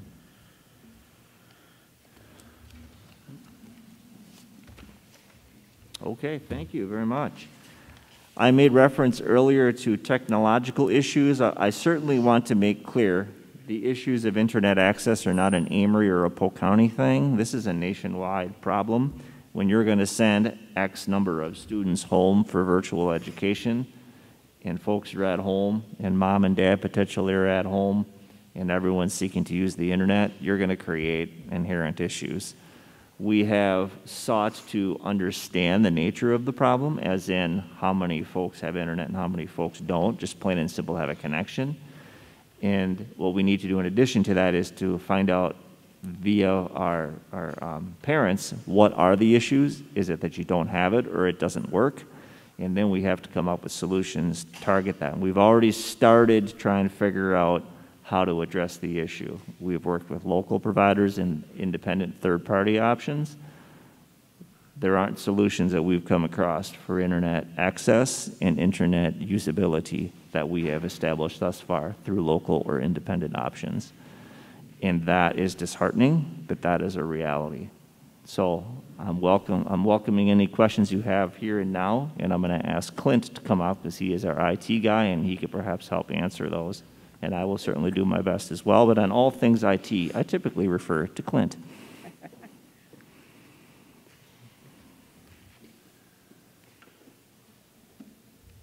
That's not your fault, right? Nope, it's not my fault. That's his standard answer. It's not my fault. It's Lonnie's. No.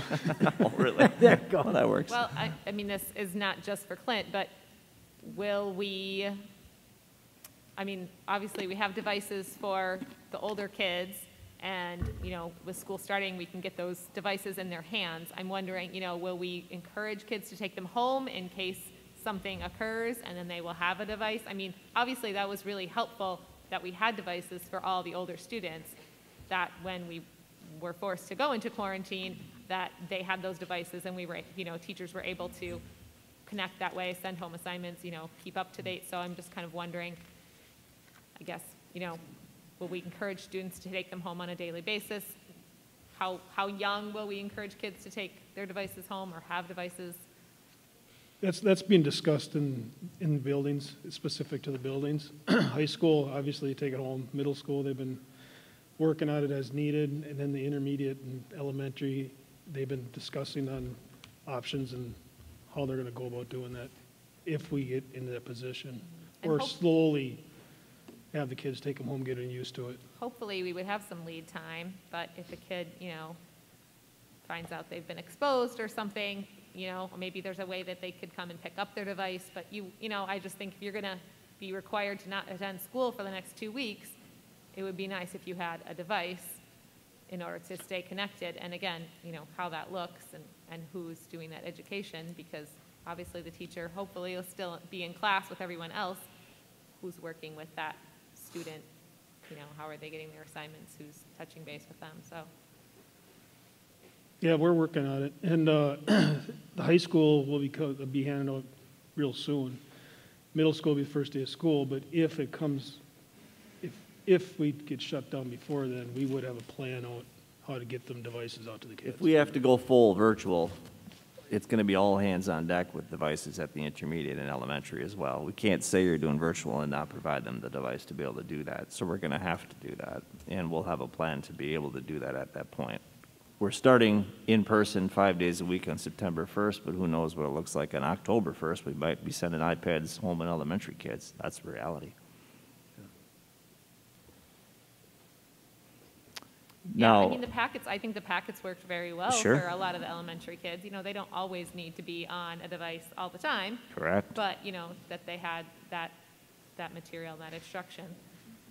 But, you know, I guess I'm also thinking about those kids that are required to, I mean, because we'll get to that, I guess, in a minute, but the kids that are required to not attend school because they've been deemed that they were exposed, you know, what does that look like for them? We've had conversations, um, I've had some with some of the principals, and we're throwing some things around how to address the kids that have to be home or the kids that are asking to be home. Um, we're still working on that, but it is, we are got some ideas what we're tossing around. Our goal is to have, uh, next week, to, in essence, move to open schools by the beginning to middle of August to have what fallback position for hybrid model looks like. We don't have that done here and now. And the hybrid model would involve the virtual piece, to have that in parents' hands so they can make an educated decision about whether they even want to do that. And to execute that plan to the best of our ability. A Couple of factors beyond our control, their ability to access internet and the quality of their internet. That's very beyond our control. And we've really kicked the tires on every option we can think of to get that done. That is a huge problem nationwide, not just an Amery and Polk County issue. I mean, I, I've heard of kids that were coming to the high school and just sitting in the parking lot, you know, in order to get internet access, um, or going to the library, you know, a mom and a, and a son were driving to the library and sitting in the library parking lot in order to use the internet there. to hook up because they didn't have access at home. So, I mean, I Yeah, guess, it's, you know. it, it's really slow. If what I was told, anybody who had cable or fiber to their house, they didn't have a lot of issues. It's people who had DSL is where the issues really came in. And obviously, you see them pulling fiber everywhere, but they're years away from getting that done. And it's, and it's not Amery, it's not Clear Lake, it's nationwide. It's an issue. And it's like going on the freeway at five o'clock at night, piling everybody in there and trying to get home in a time, and you can't do it. It's kind of the same scenario.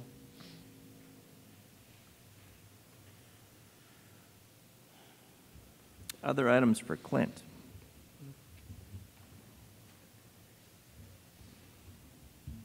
Okay, I'm going to need some help here moving forward, likely from Mr. Sigsworth and uh, Mrs. Seaman in regards to health and safety. That's the next batch of information. There are four categories of information when you're talking health and safety. There's proper hygiene, sanitizing and disinfecting classrooms, sanitizing and disinfecting common areas, and lastly, face masks and face coverings. The proper hygiene, this is by no means my own creation. This is per the CDC. This is something that all of us have probably seen before, the washing of hands and avoided touching your eyes, nose, mouth with unwashed hands, practice good respiratory etiquette, coughing and sneezing, avoid close contact with people who are sick, stay home if sick, and if you have a pre-existing health condition, certainly recognize that those factors are very important.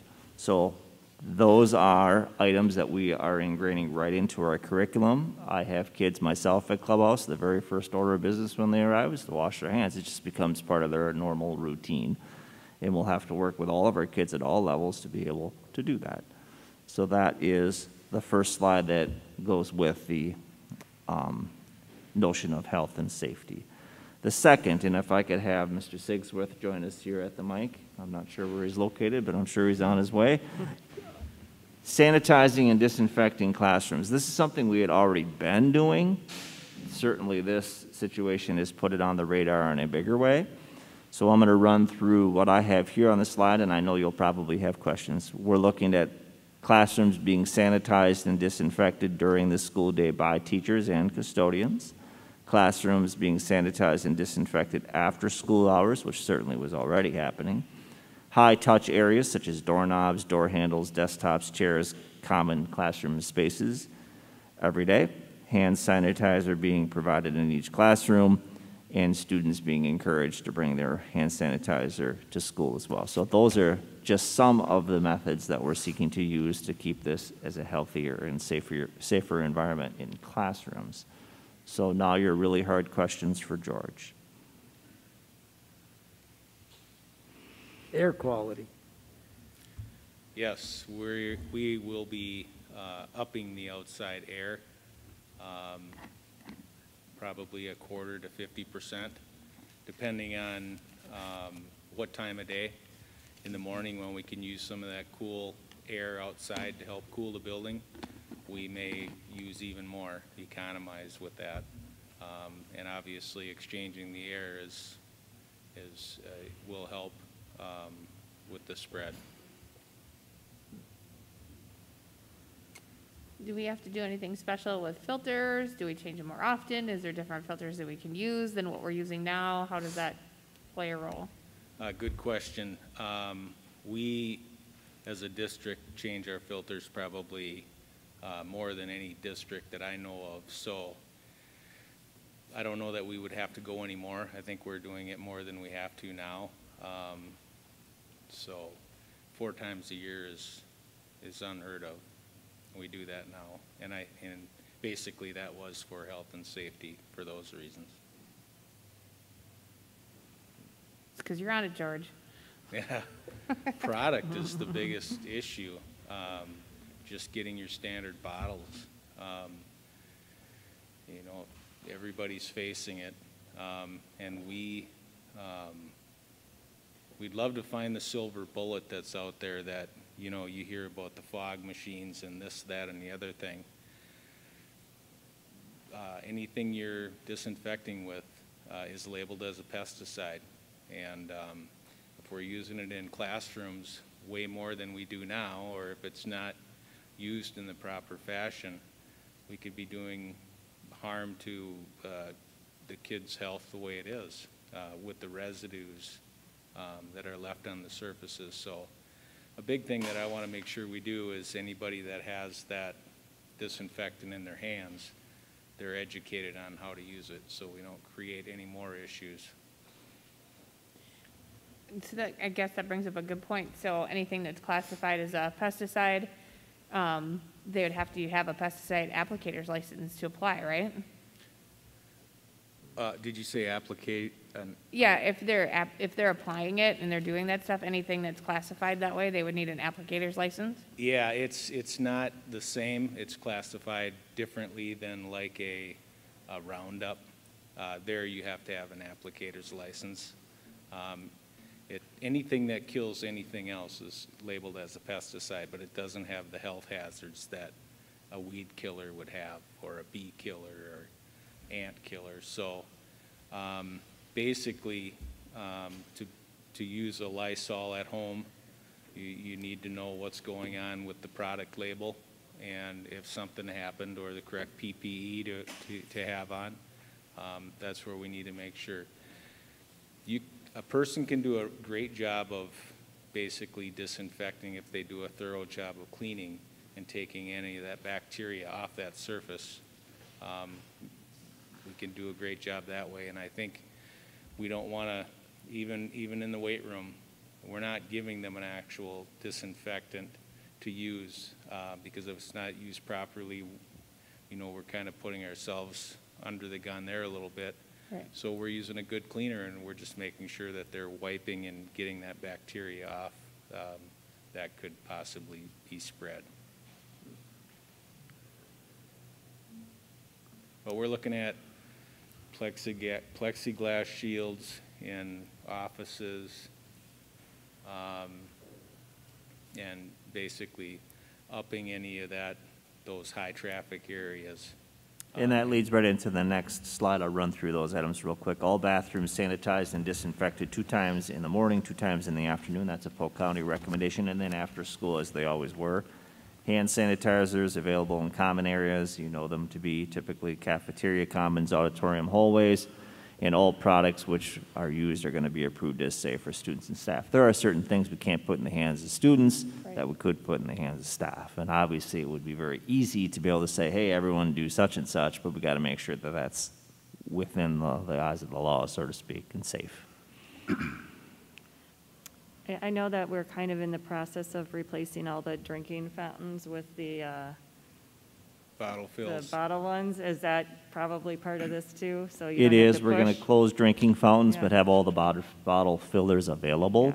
And we're going to have, uh, in essence, the directive, with your permission, to be able to say, you need to bring a water bottle to school. I think it's a pretty simple fix if kids could do that. Yeah. And you got a bottle filler. It's more environmentally friendly too, and it avoids is. the, I know when I just am out at other public places, all the water fountains are basically. Bagged off. They are. roped off. Are we having any problems getting enough sanitizers or cleaning solutions? Yeah. I mean, do you see uh, that? If it's a problem now, I would expect it to be a bigger problem in the fall.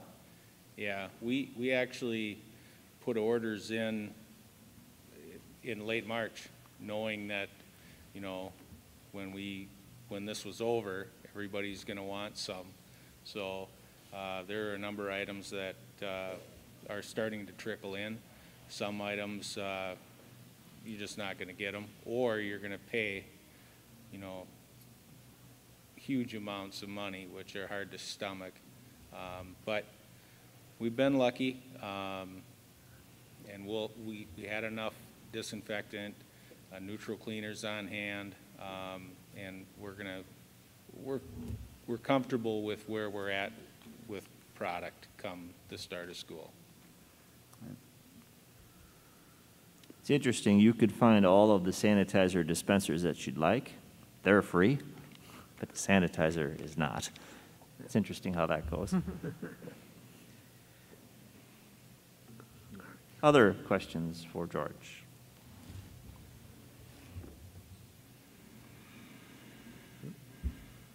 Okay, thanks, George. Thanks. The next slide is the fourth of the four items that are underneath the health and safety, and that is face masks and face coverings. The uh, district offers that it is safer to have face masks and face coverings. It is not the safest. I apologize for the typo there. It is safer to be able to do that. It will prevent the community spread of COVID 19. Wearing a face mask or face covering is not always developmentally appropriate for, or practical for an educational setting. The obvious is for younger kids and for kids that have specific needs, whether they be health or otherwise, where it will be difficult to do. The district leadership team is recommending the following. All staff are required to wear a mask a, a, wear a mask or face covering when they are unable to socially distance themselves. And here's what I mean by that. If you're in a class all by yourself, you're the only one around, there isn't any cause to wear a mask. But if you're in a common area, such as a classroom with kids, or a hallway, or a copy room, or something of that sort, that a mask would be required. That all students will be required to wear a mask on school transportation and then all students are recommended to wear a mask or face covering during the duration of the time that they are at school. So those are the recommendations being made to you.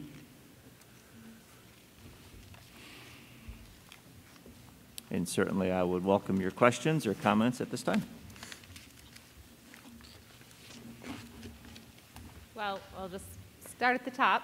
Um, would would a teacher be able to take off the face mask if they are like six feet away from the students and are, you know, doing, you know, if they're talking, doing a presentation, whatever, um, and they're socially distanced from the students, you know, would that I'm to, I'm to work with Linda in, in best answering these questions. I, I understand your question to be, you're in a classroom of 20 whatever kids, you're at the front of the classroom there, and their seats are on the floor, however the situation is.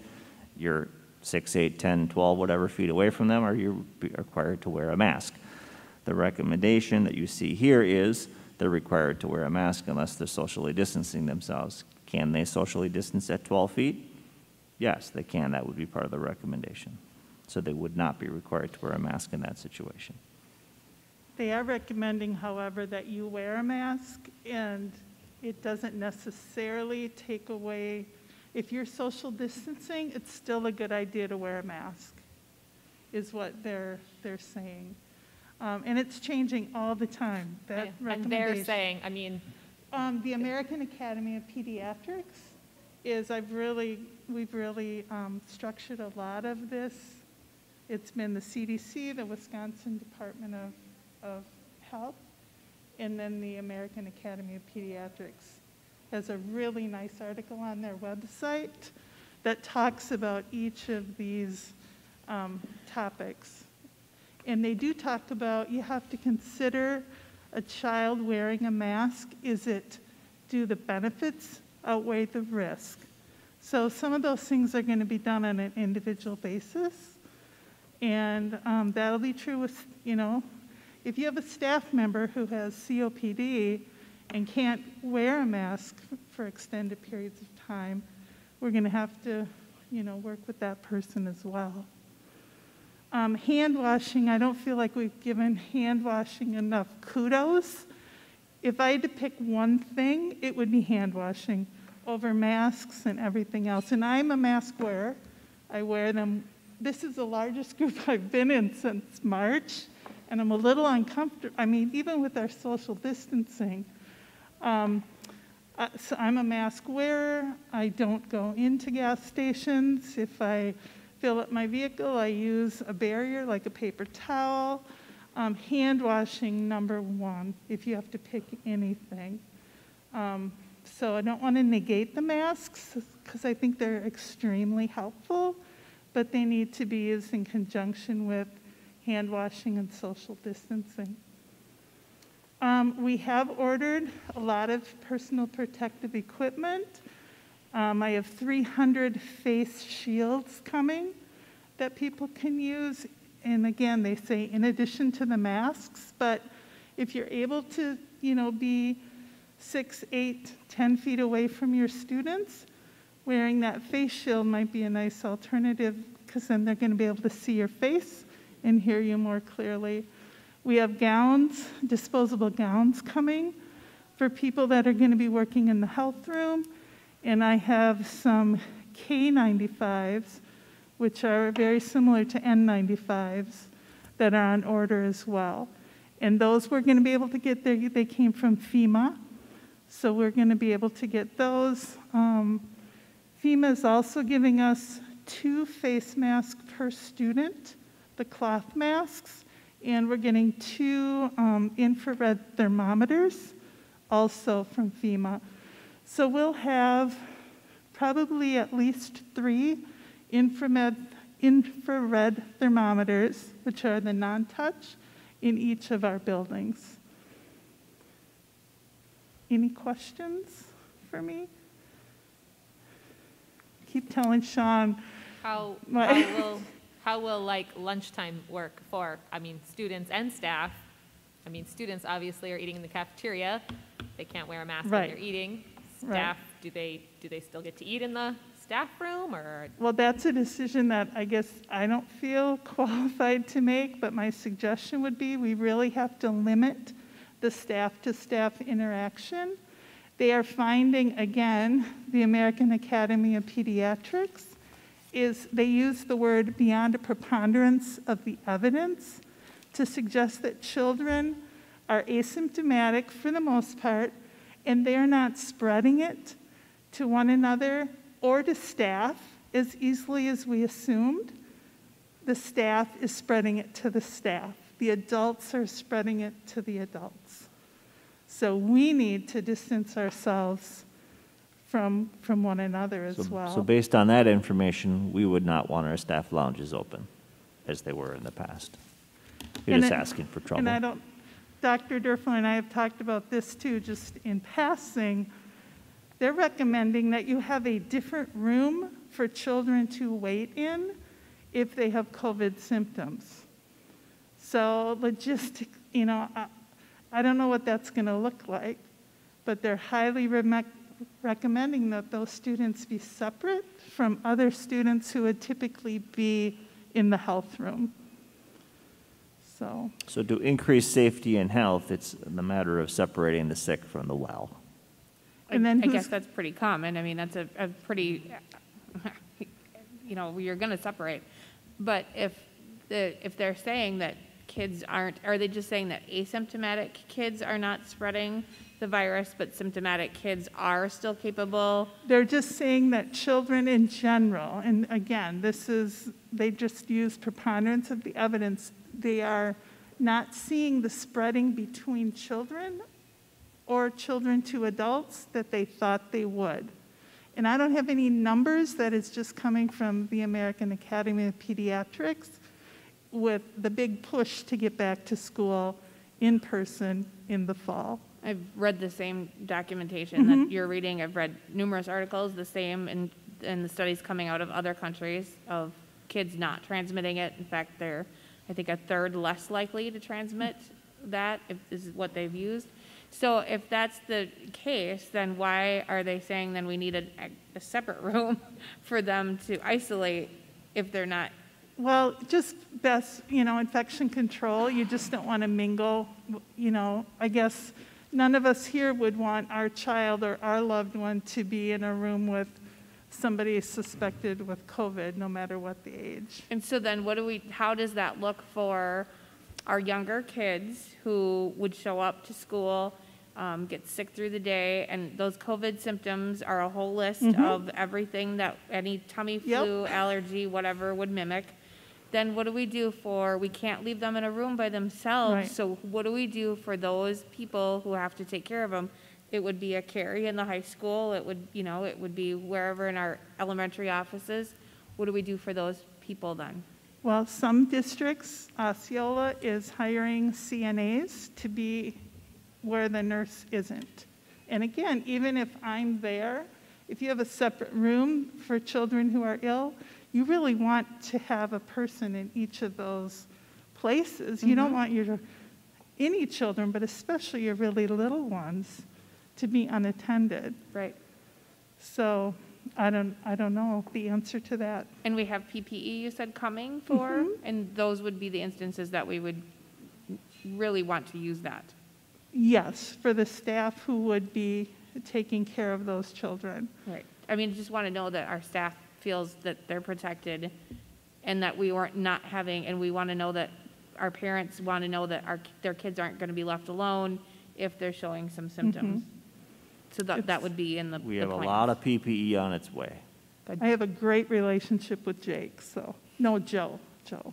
Yeah, How great can it be? You don't know his name. he loves spotted cow beer, so I Okay, just have to all right. keep bringing him that, apparently. So um, I think we're really set with the PPE. Um, And we do have a good supply, and it's reasonable. The masks are 41 cents apiece, and you can order as little as 50. Um, So that's the cheapest I've found. So is this like, you know, are we going to provide masks to students when they get to school? Is it come in your own mask? Are we saying you have to have your nose covered? I mean, it's always like, even when you're talking, I see it's often coming down as you're talking, as your jaw is pulling your mask down, you know? I mean, you have to, you know, you have to get, make sure it's up over your nose. How does, you know, how do we work that out Right. as I adjust mine? And not, tou- yeah, not touch them. Um, We will have, I'm sure we will have masks on each of the buses for children that don't have their masks. And I'm also ordering pediatric masks, um, which obviously will fit them better. I think I have 2,500 of them coming on the first shipment. So, and those are pretty easy to get, the pediatric ones. And again, they're a a reasonable price. I guess, you know, again, I just, I'm trying to think through this, if we are going, if we're going to require masks or even encourage masks, is it, is it effective if they're not wearing them over their nose? If they're No. only wearing them over their mouth?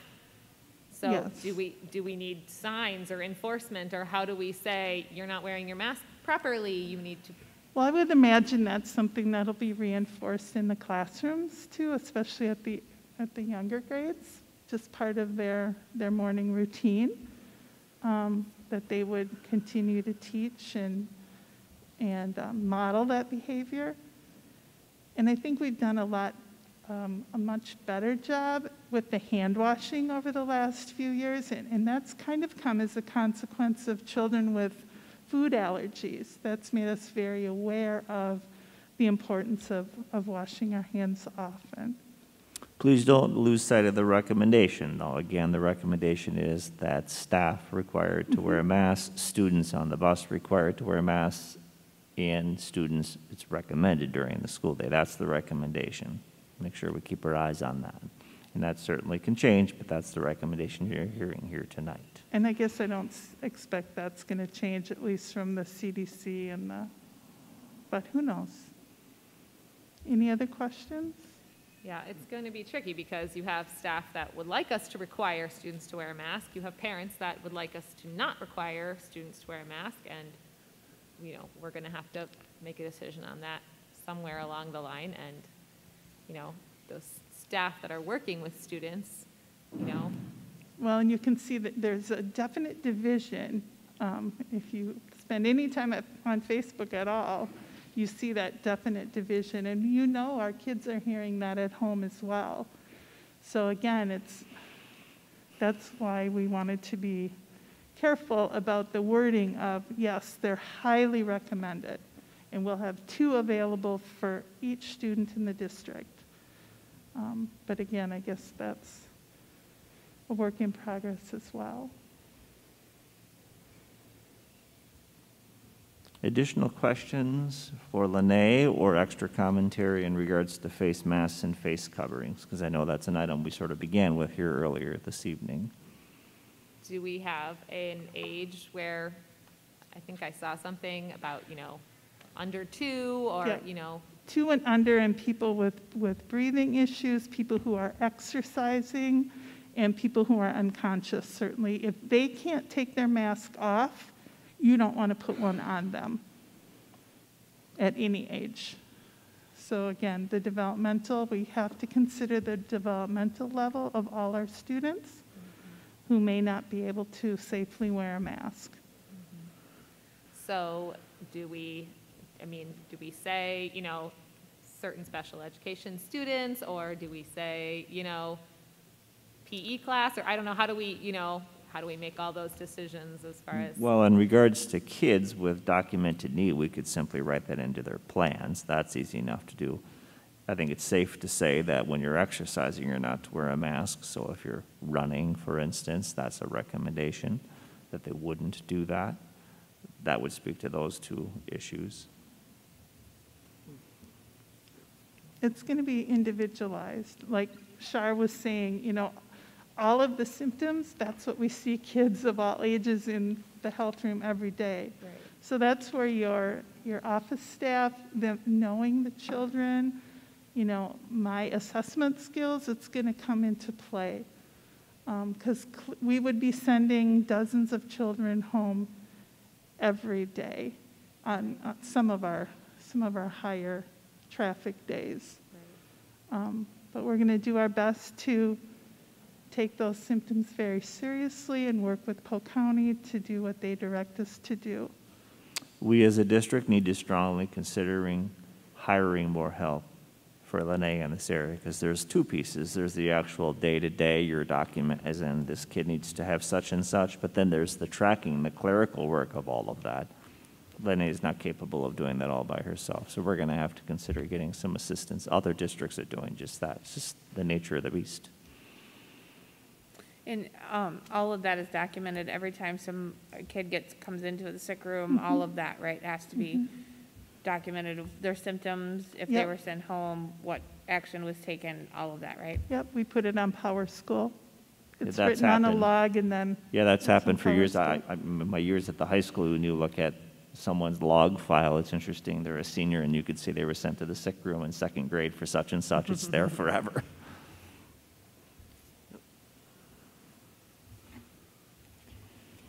And that person you would hire to kind of track, that would be pretty much clerical work, but it would be very, very important, you know? So-and-so went home on this day and they have to be home 72 hours without symptoms, you know, uh, when did they come back? That information would be, would be critical to help our county track the cases. No, I would like to speak to a email that I received late this afternoon from an individual who couldn't be here because they have a pre-existing condition that would put them in risk to be in a large group setting such as this, and they wanted to make sure that I brought up to you, we have to be very cognizant of the fact that these kids in school, if they're not wearing masks, that that puts me as a parent in my household at risk because they may bring something home to me. So we have to be very careful about family dynamics in regards to how we're educating them. And this person made a reference to perhaps it's just best for my kids to be at home rather than at school right now. Is that a possibility? Well, absolutely, that's a possibility. But those situations and families exist probably rather frequently. We just don't know who they are unless they let us know. So that's, I, I, wanted you to be aware of that. I know it's already on your minds. But that's a reality of the situation, too. Are there any other uh, comments that folks wanted to make in regards to face masks or face coverings, or shall we move on? I, I just, I think I wanted to speak to that, Lenny, if you could come back for me, um, to that, um, of that, that parent's concern of kids bringing things home. As a board, it's our responsibility, I feel, to do what's best for the majority of the children, the majority of the community, and then it, ultimately, that decision has to lie on the parents to do what's best for them and their situation and their kids.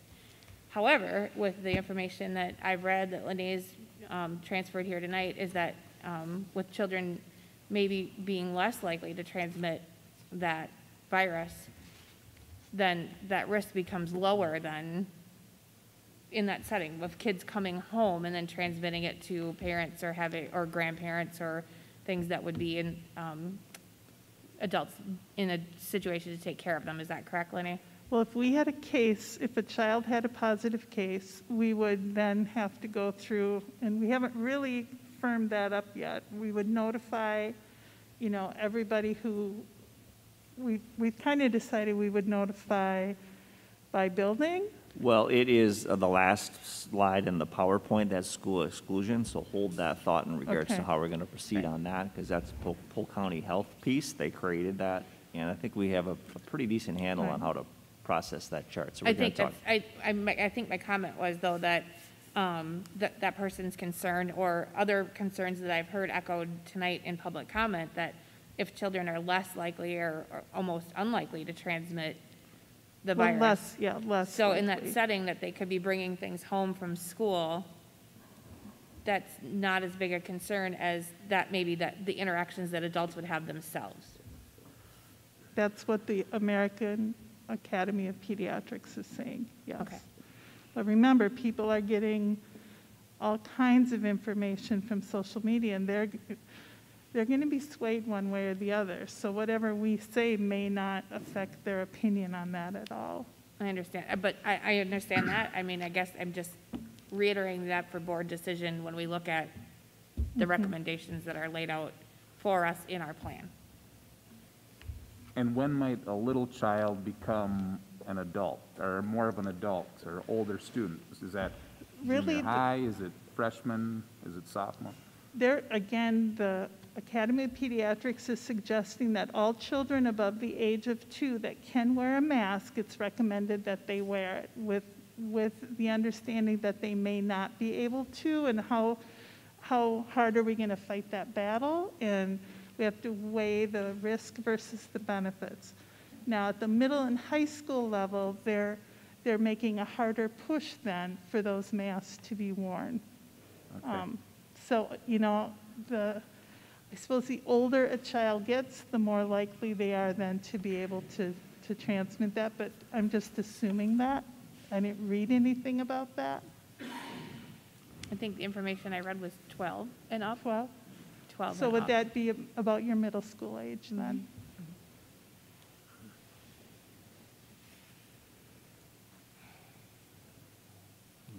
Mm-hmm. Any other comments or questions? If not, we'll move on to social distancing. Do you need me for social distancing? Um, I don't think so, but you won't be far away in case we do. Social distancing and people interactions, uh, here are the items that we have for you. Uh, Classrooms are socially distanced. We're going to talk about that a little bit more in a moment. No field trips, we're looking at the first semester on that. That gets us into the middle of January. No outside groups at school. Sometimes we have groups that come here from elsewhere. Assemblies are socially distanced. For instance, if Mr. Benson's meeting with the sixth grade, there isn't any reason we couldn't get into the gymnasium and spread them out. That's been done before.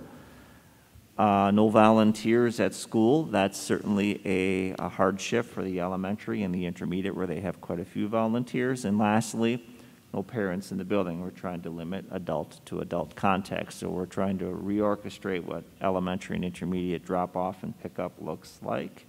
And they've already begun meeting on that very topic because that's a big change. We want adults in the building, but right now we want to minimize contact where possible. So social distancing in a classroom. I, I don't know that it would be uh, rocket science for all of you to conclude that if you have 20 first graders in one setting, that they're likely not to be socially distanced, and if they are, not for long, because they're not remaining in their seat from the moment they arrive to the moment they leave, and they're in each other's business, if you will. So it is an unrealistic proposition to say that it's occurring in the same fashion as it's unrealistic to say that they're socially distanced in a chemistry lab. You're working with two or three uh, other folks, you're in one closed setting doing one similar task, and you're sharing space, and you are not socially distanced, any more so than the instructor in that classroom is as they move in and around those lab groups. Those are just two examples of thousands of examples to state that it's not realistic.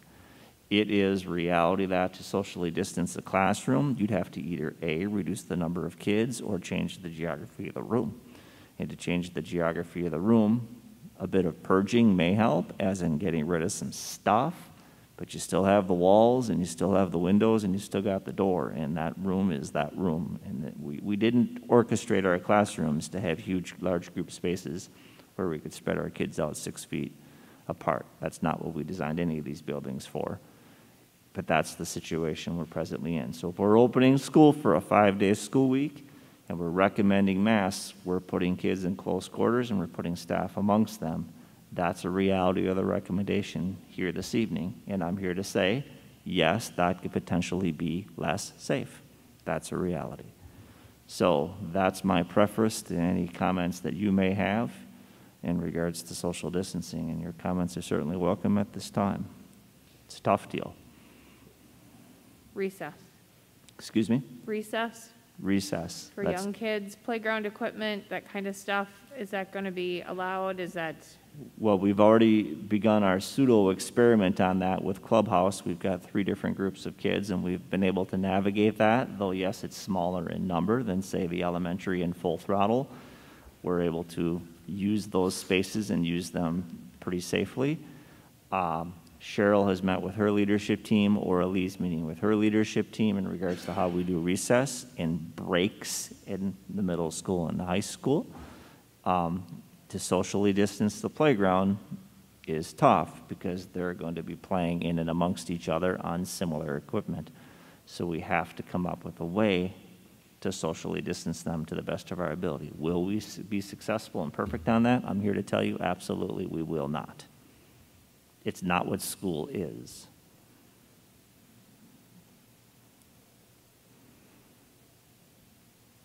Other questions or comments? Well, one thing I had thought about a little bit too is, you know, here in the upper grades and that, the use of lockers. I mean, they're all stacked right next to each other, and do you even allow them to have a locker? to- Well, we've talked about that, and I know that Mr. Gould has uh, specific feelings about the locker use, and Mr. Benson probably does as well. If the truth be told, they're using them less and less frequently, so much so that when we clean their lockers out, none of them know their combinations. They're all um, making sure that our chiropractors, 15 and 20 years from now, are going to be in business because they're all carrying everything with them in their backpack. They don't use their lockers, and some of them don't wear coats, so they don't ever go to their locker even to do that. Is that a safe? I hear, I see a head shake from Mr. Gould. Mr. Benson's probably of sort of the same mindset. I'm not sure if either of you wanted to speak to locker use. You certainly can come up and do that if you'd like. Well, Go ahead. They are assigned a locker, that is true. Whether they use it or not is I can just say that all students are assigned a locker. We've done our best to separate them as much as we could so that they're not all on top of each other, but that's um, impossible to, for everyone, that they're not going to be close there. Um, Our students right now, um, obviously go over there in the morning, put their locker and their things away. Um, I would say we're 50, we're, our kids actually use the lockers probably more than the high school does, but um, we we would do our best to um, spread them out as much as we could um, as far as transitioning from class to class. But um, so that's kind of what I, where we're at right now. We were planning on moving forward with lockers, but Yeah, that's where the mask would be more helpful. yeah. And then there's FIAD lockers too. Yeah, our lockers though are all over the building in the middle school. They're not like when you come to the here where they're all in one location. Ours are down the halls, all over where, um, just about every location. And so, um, we're able to spread them out a little bit better than some.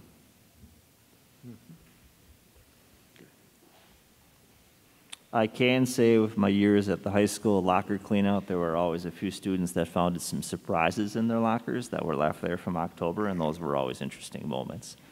And the, the locker room lockers is also an interesting experience if you have that pleasure. It's quite an interesting environment. Other questions about social distancing or any other items that are on this page? Go ahead, come on up.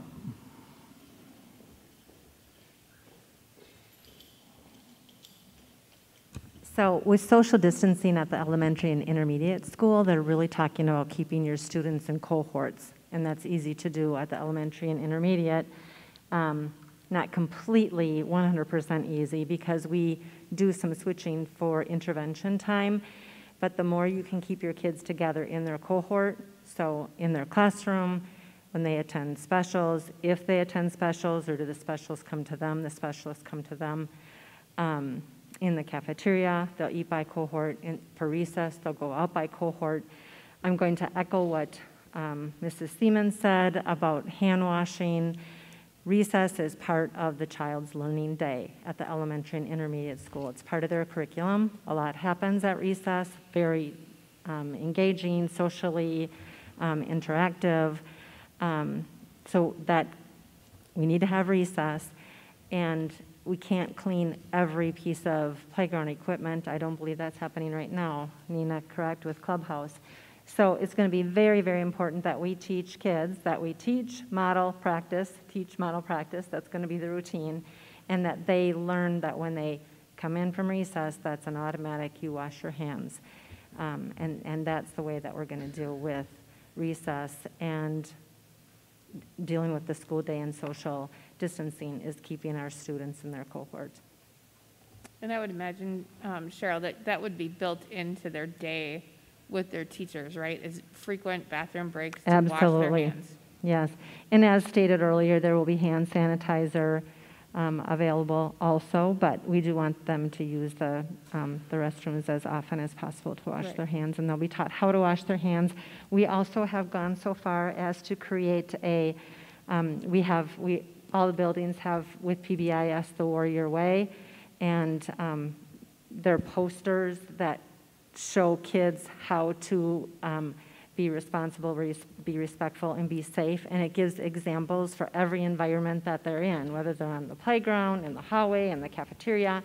And we have already started designing the COVID 19 Warrior Way poster on being respectful, being responsible, be safe. And it includes things about um, how to sneeze. You sneeze into your elbow, how to wash your hands. Um, so that's all built into the poster. So it's, you know, it's taking a lot of preparation to get our things in order so that we can do the best we can do to keep our students and our staff, our staff very safe. And I have to go on record to say, if we don't have healthy staff, we don't have school. And because we don't have people out there just wanting to sub. And I, I'm going to echo the sentiments that our staff has shared with you. They are fearful. COVID is fearful, and it does create fear. And I think anything we can do to ease the fear of our staff and to keep our staff healthy, because if they have to be excluded from school, that is an issue that the administrative team is already talking about. We don't have bodies to pull out of a hat to keep school going. And there's not a person in this room that doesn't want to keep school going. We know it's best for the mental health, the academic health, the social emotional health of our children to be in school. And we can do that by keeping people safe and healthy. Thank you. Any questions? And that's a nice segue into our, our, our next slide. The mental health of students and the mental health of staff is very much at the forefront of what we do. Certainly, their academic health matters, but we've had kids that have been absent from us now when they get to the fall, a better part of five, six months. That's going to have an impact. In some cases, they've had family dynamics where they've had a lot of time to themselves, perhaps a lot of screen time. We've lost academic time. There's a lot of factors that are, are involved there. So we're going to have to keep our eyes open as to what damage has been done, because there is damage that's been done. And we're going to have to come up with ways to remediate to get those folks back to where they need to be. Because if you're not socially and emotionally well, you're probably not going to be academically well. And we have to make sure that we target the needs of those kids. But in addition to that, if you're not socially and emotionally well, you're not going to be on your game as an instructor either. And we want to make sure that we're attending to that as well, because this has had a huge impact for all of us to be away from our kids for this length of time. It's in many cases the lifeblood of what these people do each and every day. And it's been stripped away from them at a moment's notice, and it's been gone for the better part of a half a year. That's tough stuff. So that's going to be at the forefront of our efforts. The Can I- last, can- go ahead, oh, sorry. Can I just, ba- a little, backing up one, um, I guess I'm kind of wondering, you know, how, I'm sure you just have to make modifications, but, you know, some of the, some of the buildings, especially the elementary and intermediate, rely heavily on volunteers and parents coming in to help at school. Yes. With, you know, with testing or reading or, you know, various things. I guess I'm just wondering, you know, and, and the same thing, it really makes me sad to think that there will be no field trips. You know, I'm, I, I don't know if teachers can do more kind of special activities instead of a field trip if they, c- you know, I don't know, something, but it's just, and I understand that it's the situation we are in, but it's very sad. It's very sad. We're not going to fill the gap of a high-quality field trip, and there are numerous examples of those. We're going to seek out virtual trips where possible, and we're hopeful that this passes in a, in a soon enough fashion where we'll be able to get back on the road to go to the places that we've always gone to. Again, And- even just getting outside, I mean, the groups that go to WAPO or go to, you know. Exactly. You know, You're not going to fill that gap with any kind of creation in-house. It's not the same. virtually. It's not, or virtually, it's not the same. To go to the, to go to the aquarium and to do a virtual of the aquarium is a two, two totally different things. The last topic of the evening, in essence, is the school exclusion tree, and this is for students and staff. The exclu, the school exclusion chart that you see on the very last page is a creation of Polk County Health. Now, please know that this is applicable to both students and staff. That's straight from Polk County Health. I explicitly asked that question. So there are a variety of symptoms you see there at the top of the page, and you're probably thinking, holy cow, that's a lot of kids right off the bat. Yes, it is. Please note the asterisk that you see there. These symptoms should be outside the student's baseline. So if they're a seasonal allergy kid and they have a variety of these symptoms that they've had every single year they've been a kid, we can rest assured that it's probably part of the normal behavior. But in some cases, it won't be. If that's the case, then we're going to have a kid that's symptomatic potentially. So the answer is yes. If, you, if you're following the chart, you move to the left, then you send that student home and request a COVID test. Then the next step in the process was that test done? Yes. Was that test done? No. You follow the chart in that way. If the test is done and it's a yes, it's a follow up from Polk County Health, and that's a school exclusion situation. If in fact they did the test and they're negative, you exclude the student or staff person for 24 hours until they're symptom free without medication use. And there isn't anything further to do there. Now, where it gets tricky is on the right side of the page. They did not have these symptoms, but yet they were in close contact with someone who did. And we've had a couple of situations like this already over the course of the summer. So you were in close contact with a person who was positive. The answer is yes. So you move towards the middle of the page. If notified by Polk County Health, exclude 14 days past the last exposure.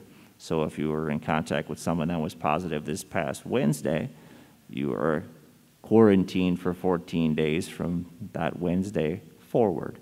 That's a Polk County Health decision. That is a daunting undertaking to keep track of all of that. And it could very well be the case that you have multiple situations ongoing at the same time. Polk County is managing not just Amery, but eight other districts. So they have task force that they're creating for each district because they full well realize that this could be, you know, 17 cases in a week that are ongoing, and they're going to have to track that and have to decide who stays and who goes. This does not mean if you have a teacher that is positive that you automatically have every kid excluded in the classroom. Could you? You certainly could, but that does not automatically mean that. And further, it doesn't mean if you have a kid in the classroom that's positive that you automatically exclude everyone there in the classroom. That's a Polk County Health decision. And it also doesn't mean that those things couldn't occur. You could have entire classrooms, you could have entire areas of buildings, for instance, three instructors in a similar area, all be gone at the same time. Now, you, we all have to deal in reality. If we have X percentage of kids gone or X percentage of staff gone, at some point it could be unmanageable to do our work. But we don't know what that's going to look like. We won't know that until we get into the fall. So this is the school exclusion tree as authored by Polk County Health, and I'm sure there may be questions about it.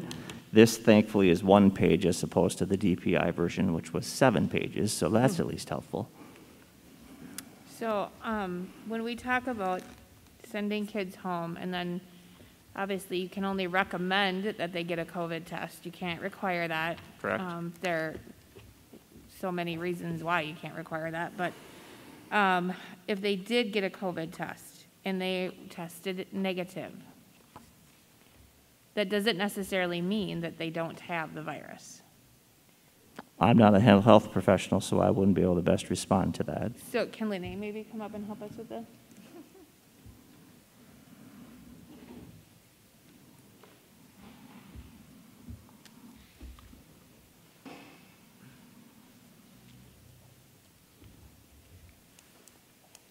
So perhaps restate your question if you could. Okay, so if they, um, anybody, an adult or a child, would have symptoms and they get uh, a COVID test and they test negative, which is possible to still have COVID and test negative because they're not shedding the virus yet? Cer I mean, yes, it would So depend. then what do we do just because they have a negative test? Do we have a requirement that says then X number of days later, Yes. they need to have another test? Um, Three days symptom-free is what the exclusion is saying. So anything beyond this would probably come to us from public health. And again, that's why that tracking will be so important. Um, And I'm sure that anybody that I send home for, or that we send home for a while will be running by public health, just to, till we get a feel for their tolerance and their preference and what they want us to do. But they could be symptom-free, Mhm. and then they, or feel better within 72 hours, which is often the case of COVID, that it waxes and wanes, and we find that that real traumatic effect on their bodies doesn't happen until about seven days in after they've initially felt symptoms. So if they feel better within 72 hours, they've had a negative COVID test, um,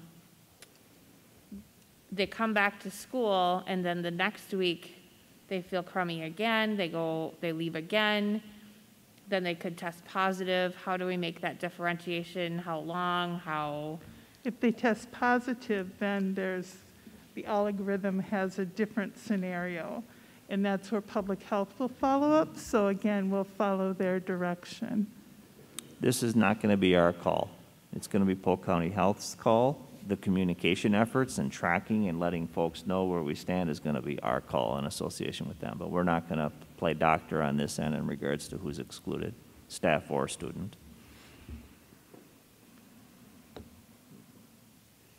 I There's maybe just- didn't answer you, but I don't know that I would have the question to I, that. I guess I'm just wondering if there's suggestions for follow-up testing, even, um, do they, I, I just, I I guess I've known people that have initially, they've come into contact, close contact, family member, a husband, a spouse, um, who've tested positive. They initially tested negative, their children tested negative, and then a week later, they've tested positive. Um, It's anybody's That's why- guess how long? Well, we're quarant, that's why a lot of people will be quarantined for the 14 days, and sometimes there's such a, a possibility that somebody can be negative and be out of school or work longer than if they were positive. Yes. So um, there are those scenarios also.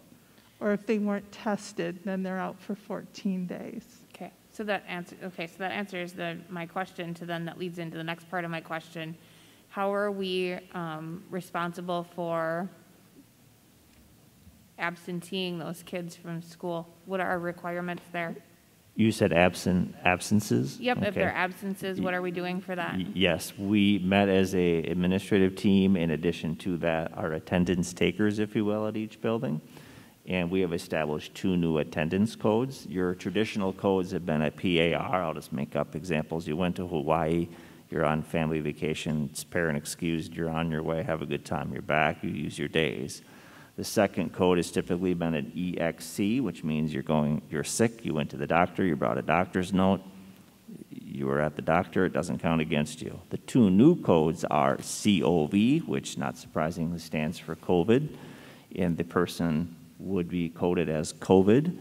It doesn't count against your parent excuse days, and it certainly doesn't count as a doctor's note. It's COVID for a reason. We want to track the number of absences, how many have been gone, how often they have been gone, and how long they've been gone, because we want to document to Polk County Health and Department of Health Services, here's our situation. This is what our attendance portfolio looks like. If we don't track COVID, we would never know. And then lastly, an SIC code, which is the kid was sick, they don't have a doctor's note, they didn't have COVID, they were just sick. And that doesn't count against your parent excuse days, and it certainly doesn't count as a doctor's note because that's not what you did. But at the end of the day, the district is going to take a very flexible approach to attendance, and we are only going to send kids to the doctor that need to be sent to the doctor because the hospital doesn't want extra traffic. They want just those who need to be there. So we're tracking attendance in that way. And since you asked, I'd like to talk to you about how we're tracking staff attendance as well. We have established in IRMA, which is our attendance taking measures for staff, we're tracking COVID-related absences there as well because we want to document our needs with staff. We've had X staff gone for X times for X period of time. This is our portfolio with staff attendance. So we're tracking it differently for both groups. And we're going to do it in a flexible way because this is a time that flexibility is needed. And so um, you wouldn't be necessarily coding for student absences COVID unless they had come into contact with or We had a want it to- positive test themselves or, We would want it known to be that it was a COVID-related reason. They had it or a family member had it and that's why they weren't there. So we can document who was gone and how often and how, how much that made up our attendance portfolio. okay. And without coding it that way, it would all look like sick and it would all be blended in together, which is not an accurate picture. and then, so what if they went to the, what if they went to the doctor, they were sick, um, their COVID test was negative, but they were still remained sick for 14, 22 days? I don't, I had a daughter who was extremely sick for 22 days. They wouldn't test her for COVID. Um, obviously, we were out of school, thankfully at the time, but they wouldn't test her. They absolutely refused twice to, to test her. So did, do we need an actual written doctor's Well, we're not going to, we don't want to get into a guessing game as to what the absence was. We're only going to code COV stuff that we know was COVID. We, we don't want to guess that it was COVID when we don't know that it was. But there would be leniency on the absentee policy course. in relation if that wasn't. Ultimately, what the absentee policy is going to boil down to is if, once you've used five days, you'll get a letter stating you've used five days. Once you've used 10 days, we'll let you know that you've used 10 days, a parent excuse. And then lastly, if you're chronically absent, the building principal is going to call you and say, your kid's chronically gone, we got to figure out a plan here. But are we going to be punitive? No way, not with what's happening. We're going to be very flexible. Okay. So is my understanding then that if they are in close contact with someone, they find out later on that that person tested positive, that it's going to be up to the Polk County Health as to whether or not they need to be out of school? Correct. And whether they go into quarantine. That's an actual real example that happened this last week. A student came in close contact. They're one of our weight room kids. They came in close contact with someone outside of the district, and they've been in quarantine uh, since Thursday of this, this past week. And that was like because Polk County Health told them to? Correct. Correct. And the school gets notified in that situation The that, that the student isn't allowed or the adult isn't allowed Right. in school, that they're Right. self-quarantining. In this case, we notified them and Polk County did. But that won't pass. So say a student comes in and, you know, says, I just found out that I was with my uncle last Saturday and I just found out he tested positive. Now it's Thursday. So that Polk County Health will determine whether or not that student needs to go into quarantine, Correct. but probably they will. I can't say probably. I'm Polk simply County. going to say that Polk County is going to make that But the people determination. that that student has been with all week, that won't pass on to them as well. No, here's a real-life example. If you, uh, i- if you came in contact with someone who was known to be positive for COVID, you would need to go into quarantine. But if you are an associate, a friend of, a family, per- family member of, a student of the person that came in contact with the other person, you do not necessarily go into quarantine, and likely you wouldn't, just if you came directly in contact. Okay. But a lot of times you don't find out until, True? you know, a week after you were in contact with them. True. Then you find out that his, which is the deadliness of this, the way that this spreads, but also the, the uh, complication of tracking it, which is why we're going to need more help for Lene to be able to track it. We would also start gathering co- potential contacts so that when we call Polk County, you know, we would do our best to have some, some probable contacts for them. Yeah.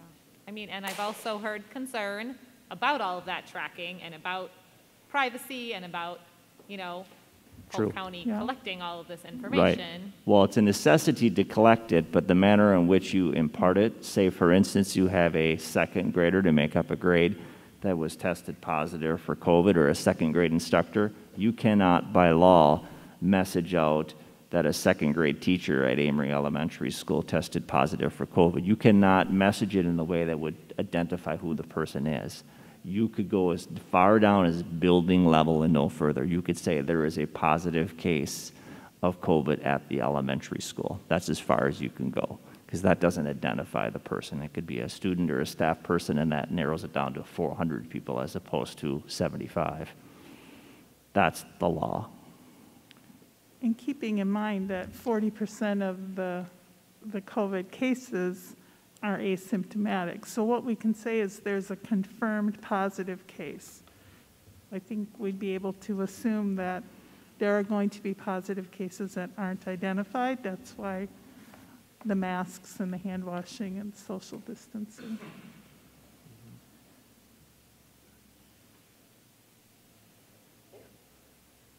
Other questions about the school exclusion tree? I don't, you know, I, I mean, I understand that you don't want to be too specific, but I also, then you have 400 students and their families who think, well, it could be in my class, you know, kind of like what with the Osceola Correct. Destination Imagination, everyone said, Correct? could have been in my room. I don't know if it was in my room or not, you know, and so a lot of people were kind of like, do I quarantine? I don't know if I was exposed or not. And I, and I can't give you a better answer than we're always going to follow the law. We can't do it any further Right. down than that. That's the law. So that's what we'll do. It just causes a lot of ripples then. It does. Everyone being. It does.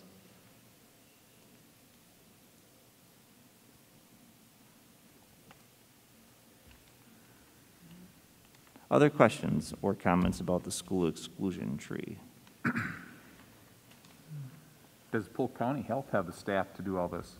to That's a support all very, this? that's a very important question. I I don't know them intimately well enough to know the answer to that question. I can only share with you what they've shared with us. They've been very helpful. Uh, They have been air- very much on task in providing assistance. We are thankfully in a county where that's occurred. Some counties, they've been absent from the picture. Um, Right now, I'd say yes, but if you get 17 and then 37 and then 57 cases in particular county, eventually that becomes unsustainable for them. So yes, right now, but I can't speak to their personnel. They know that this problem's not going to get smaller. It's only going to be the same or bigger for a while. especially since when school starts and schools are going to have to start reporting to Correct. them. Right now, they're not hearing from you, but come September 1st, all the schools in the district. I are gonna be imagine they've got to be getting prepared and then some as we speak. That would be my hunch.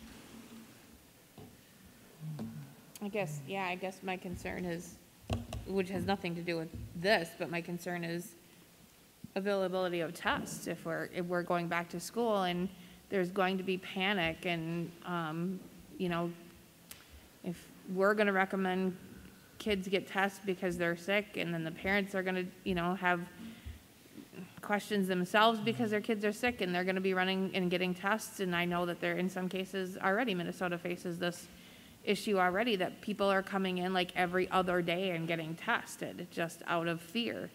Um, and, you know, they, they wanted to bolster their numbers. Of course, everybody would like to test, but we have to remember it's a snapshot in time. Sure, I imagine our healthcare providers are as nervous as anybody about that once school starts, because that upticks for them. I just think of the volume of, of regular influenza tests and strep tests that the hospitals perform when school Right. comes back into session. And of course, we have to remember that every year that school comes back into session, it's new germs because Sure. kids haven't been around each other, and there's always that influx of Always. sickness right away at the beginning of the year after three, four weeks together, and then, and then to add this on top of it, I have, it's, it's gonna be an issue. It will be very tough. So the timeline moving forward, so folks are well aware of that, we have a regularly scheduled July board meeting next Monday, July 20th. You would be asked, because again, we're not taking any action on any of this here this evening, you would be asked to take action on that next Monday. What you have before you is what you'll see next Monday, unless I'm given the task of changing something in particular. If you have something of that sort, it would probably be best to impart that here and now. The only to-do list item that I have is to inquire with staff as to what their thoughts are about coming back in the fall and what that problem looks like. And I will certainly do that here as soon as tomorrow. Um, But other than that, the recommendation as you see it set forth is what you would see next Monday. You could either take action or table it and do it at a later time. The only thing that I would caution you is eventually we run out of time and we got to get ready to start school on September 1st and we only have six weeks to do that from July 20th. Um, I will come to you in August, as I shared with you earlier, with policy in regards to staff absences and how we would process that. Um, I don't have that written, and I'm sure you're not surprised by that, because that's an ever-changing topic. So, if there's anything else, this will certainly be the time. If not, I will turn it back over to Chelsea, and she can wrap us up, or if you have thoughts or comments, now would certainly be the time. Well, I guess, you know, I, don't know if we want to discuss changing the recommendation that students are recommend, that it's recommended that students wear masks. I don't know if we, you know, I, I really don't know um, if we require students to wear masks, if we require middle school and high school students to wear masks, unless there is a health concern or, you know, they don't have the ability to put it on or take it off themselves, or, I, I don't, I guess that's probably my biggest question, is if we change that at all, or if we keep it as recommendation. My, my thought is, if it is a recommendation, you might have half of the students wearing masks. I mean, that's my gut feeling. And so I don't know if, if that is effective then, or how effective that is, if only half of the students are participating. Um, I've thought a lot about mask versus no mask. Um, I listened to the community comments that we had tonight. Um, most of them, which were our teachers and our own staff, which is always a concern, a forethought of mine when I make decisions um, and, and cast a vote in this board. And it's, it's very difficult for me to, to look at the staff that were here tonight um, imploring us to require our children to wear masks and say, that's difficult. In that same breath, that's difficult. It's, it's difficult um, for just a logistic factor of um, kids forgetting their masks, kids not um, bringing their masks, parents having pushback of my kid isn't going to wear a mask, then that um, core value, that sentiment boils down to your children. Um, you end up with children already having social problems at school, being picked on, being um, bullied, and then um, then you end up with a mask debate. You know, my mask is better than your mask, or we're sharing masks, or then I look around. The, I looked around tonight, and I I intentionally watched um, people with their masks on here, and we're only sitting here for a few hours, and we're adults. Um, me personally, I have a reason that I choose not to wear a mask most of the time. I did here tonight. It was a, a recommendation. It was a requirement here. I did tonight. Um, kids, adults who are survivors of trauma, emotional abuse, physical abuse have a, a hard time with this. We have kids who are um, under special requirements, um, are kids with autism, Asperger's, who couldn't possibly stand the thought of having a mask on their face. And if it comes down to a district having to make that decision of who gets to not wear a mask versus who has to wear a mask, that is a really dangerous slope to put our teachers in, our administrators in, and our leaders in. Um, and then just, you know, just requiring the mask itself um, in cer- certain settings. We're sitting here as adults and we're touching our masks, we're adjusting our masks. Um, uh, in fact, Erin pointed it out with Cheryl at the podium, um, her mask coming down while she's talking and, and she's grabbing it and I've been grabbing mine and then I'm touching things and I've watched people in the audience themselves tonight grabbing their mask, touching their mask and then touching other surfaces too. Um, so those things, all, I think recommending a mask is a wonderful thing to say, even some is better than none. But to require it, I think we put people in a really bad spot. And that would be my thought of masks.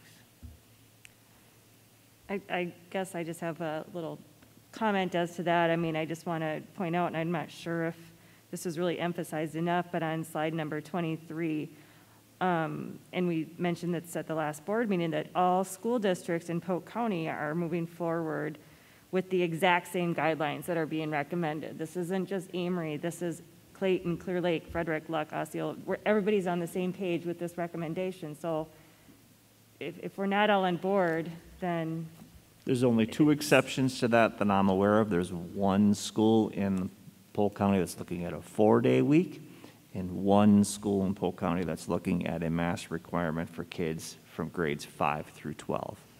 Other than that, everyone is doing exactly what you see listed here across the board. Well, ultimately, it, it comes down to the risk factor.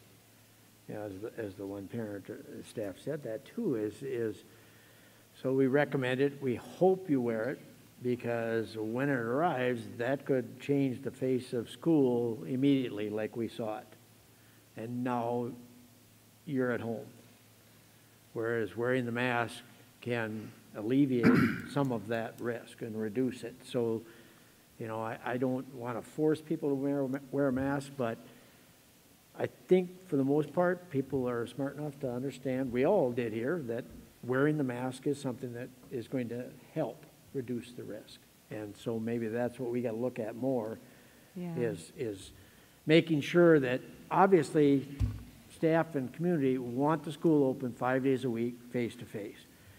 Well, there's, there's some stuff that has to go along with that. The hand sanitizer, the social distancing, maybe wearing the mask. Um, It's, it's, it's not a force issue, but it's just a a humanitarian issue. A- And it, and it could be a force issue down the road if there is an outbreak. I mean, it's not like we can't change policy in two months from now, you know? This whole thing is subject to change based on where this goes. This All is these not rules set are in stone. subject to, I mean, the governor's constant, the mayors, everybody's constantly changing the rules. They have different directives every week, so. And we have It's from not the- like this is written in stone. It's like- Sorry to like interrupt. pencil. And we have, from the beginning, followed the directions of healthcare providers. And second, we followed every order that was given to us, whether it be from the governor or whoever. And if there was a county or a city ordinance, we would follow that too.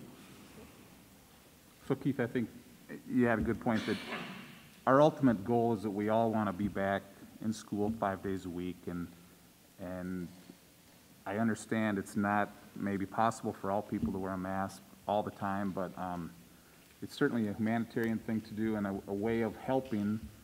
Um, it's not going to eliminate COVID, but it can help reduce the risk and help hopefully keep us open five days a week would be my opinion.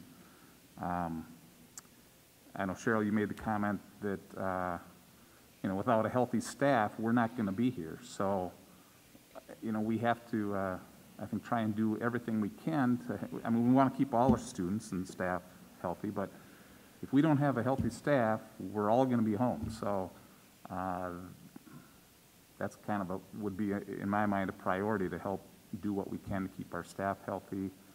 Um, And, and the, comment was made, if it's an air that we're uh, wearing a mask, well, then we erred on the side of caution. Um, You know, maybe we wore a mask for a few months and nobody got hurt. So, I don't know, my, my comments, I guess, but. Yeah, I, I, Dale, I agree with you a hundred percent to say, you know, it's a, and Keith, uh, again, it's a humanitarian thing to do. Um, and I think, unfortunately, it's gotten to be politicized, and it, sh- it shouldn't be. But I, I have a, I take a real strong exception with somebody saying that because you choose not to wear a mask, or you can't wear a mask, or there's reasons that you can't wear a mask, that you're not being humanitarian. And I've been called myself selfish for not wearing a mask. There's reasons that I don't, and I can sit here, I can tell you right now that these last three hours have been excruciating for me to wear this mask.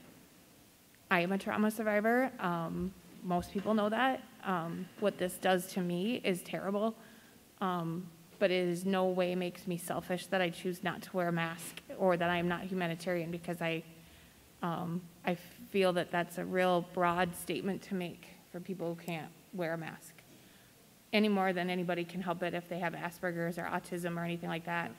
But without an IEP, then we have people who are in the school, kids who are in the school that are trauma survivors, who may have a real hard time with that, who don't have an IEP. And then you get to pick and choose, and I think that puts our staff in a really bad sh- shape too.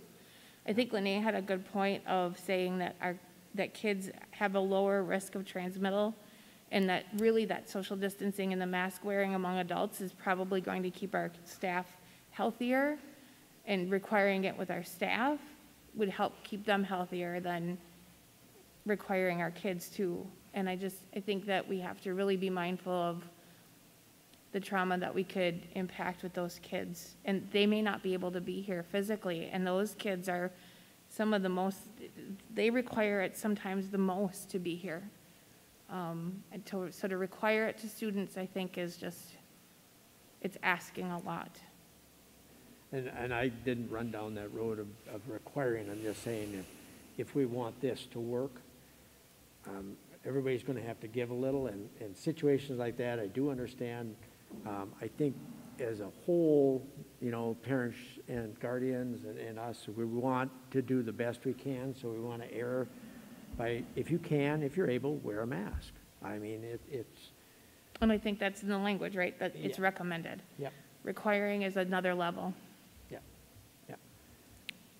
Because I think if parents understand and students understand that, you know, um, obviously the risk that they're, if they're taking outside here can close this. And, and then cause virtual learning again or some other some form of it, Yeah. yeah. And I think you're right, Keith, too. I mean, we talk about what goes on in our building, and that's the only thing that we really do have control over. Um, But watching kids, and it, you know, I think everybody did a great job on that lockdown. When we were, when we were locked down, I, you know, I would go, personally myself, I would only go out grocery shopping once a week or any, more, no more than I had to, for sure.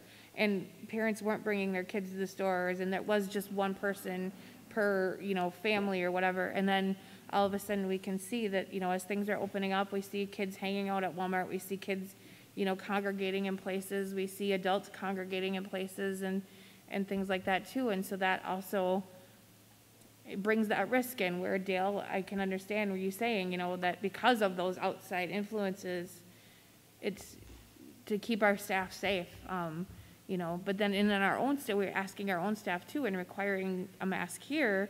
Um, and then again, if we're asking our kids to wear masks, then even their own lives outside of school has to be a factor themselves of their level of risk.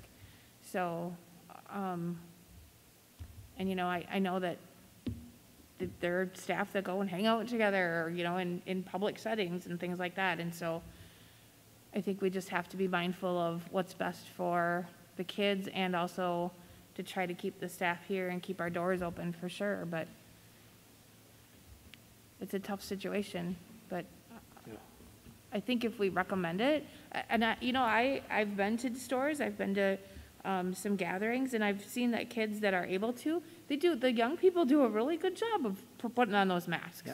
You know, so if they're asked, you know, that it's, it's They're probably a lot better than we give them credit for. I think so too. In fact, I actually saw a whole group of young people, they were in their 20s, probably coming into Walmart the other night, and I was um, driving out, and they were all, they'd all gotten out of their car, and they were all putting on masks as they were heading into to Walmart. And I think, I think those kids are, we've done a good job raising responsible citizens and raising responsible kids for the most part. And if you ask and say, boy, we really recommend this and we want to keep our staff, I think they're responsible too.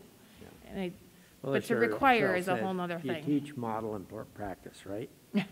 Right. So you wear it, you show the kids, as, as parents and as, as staff, that this is just what we do. And, and hopefully, you know, not so much in the elementary grades, but in the upper grades, they just decide that that's what they want to do. Mm-hmm, yep.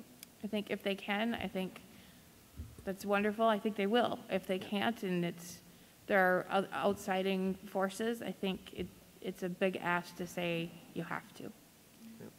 It's going to be another um, hot, top, hot button topic, though, even amongst kids, that, you know, why are you wearing a mask? Why aren't you wearing a mask? Yep. This is what my family thinks, this is what my family, I mean, you're going to have some of that. And so again, Yep.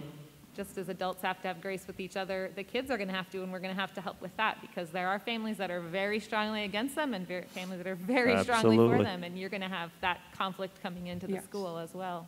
Absolutely. Well, I'd like to conclude by saying a couple of things real quick. I want to thank the 75-ish, now about a dozen-ish of you hearty souls who have stuck with us for three-plus hours. Thank you for taking an interest in what we do in the school district of Amery, because it certainly matters. It is, after all, your kids we're talking about here. I want to thank the members of the district team for their contributions before, during, and guaranteed after this meeting has concluded. Thank the board members for their thoughtful considerations here this evening. And then to let folks know our path forward. And I sort of alluded to that earlier, but I'd like to share with you, I'm going to send out an update to those who couldn't be here tonight. We'll send out an email stating, here's where you can find the recording, here's where the presentation is, and also to let them know that Polk County is seeking to be on the same page. And then lastly, let them know, what I'm letting all of you know here and now, that next week, Monday, at our regular meeting, we're going to go ahead and vote, approve, move forward with the recommendations you see here, unless there are other considerations that come up between now and then or something changes on that evening. And then to message out the plan in its fullest, not just the recommendations, but what are we going to do for recess? What are you going to do with transportation? All of that by the end of July, early August, and then be in position to start our school year on the 1st of September. And with that, I'm going to turn it back over to Chelsea, and she can wrap us up. All right, um, yes, I would once again like to thank the leadership team, which I'm sure spent hours and hours putting together this, um, this bounce back plan, um, and also the community comments uh, tonight, and the parents and staff who completed the survey. And with that, um, this meeting's adjourned.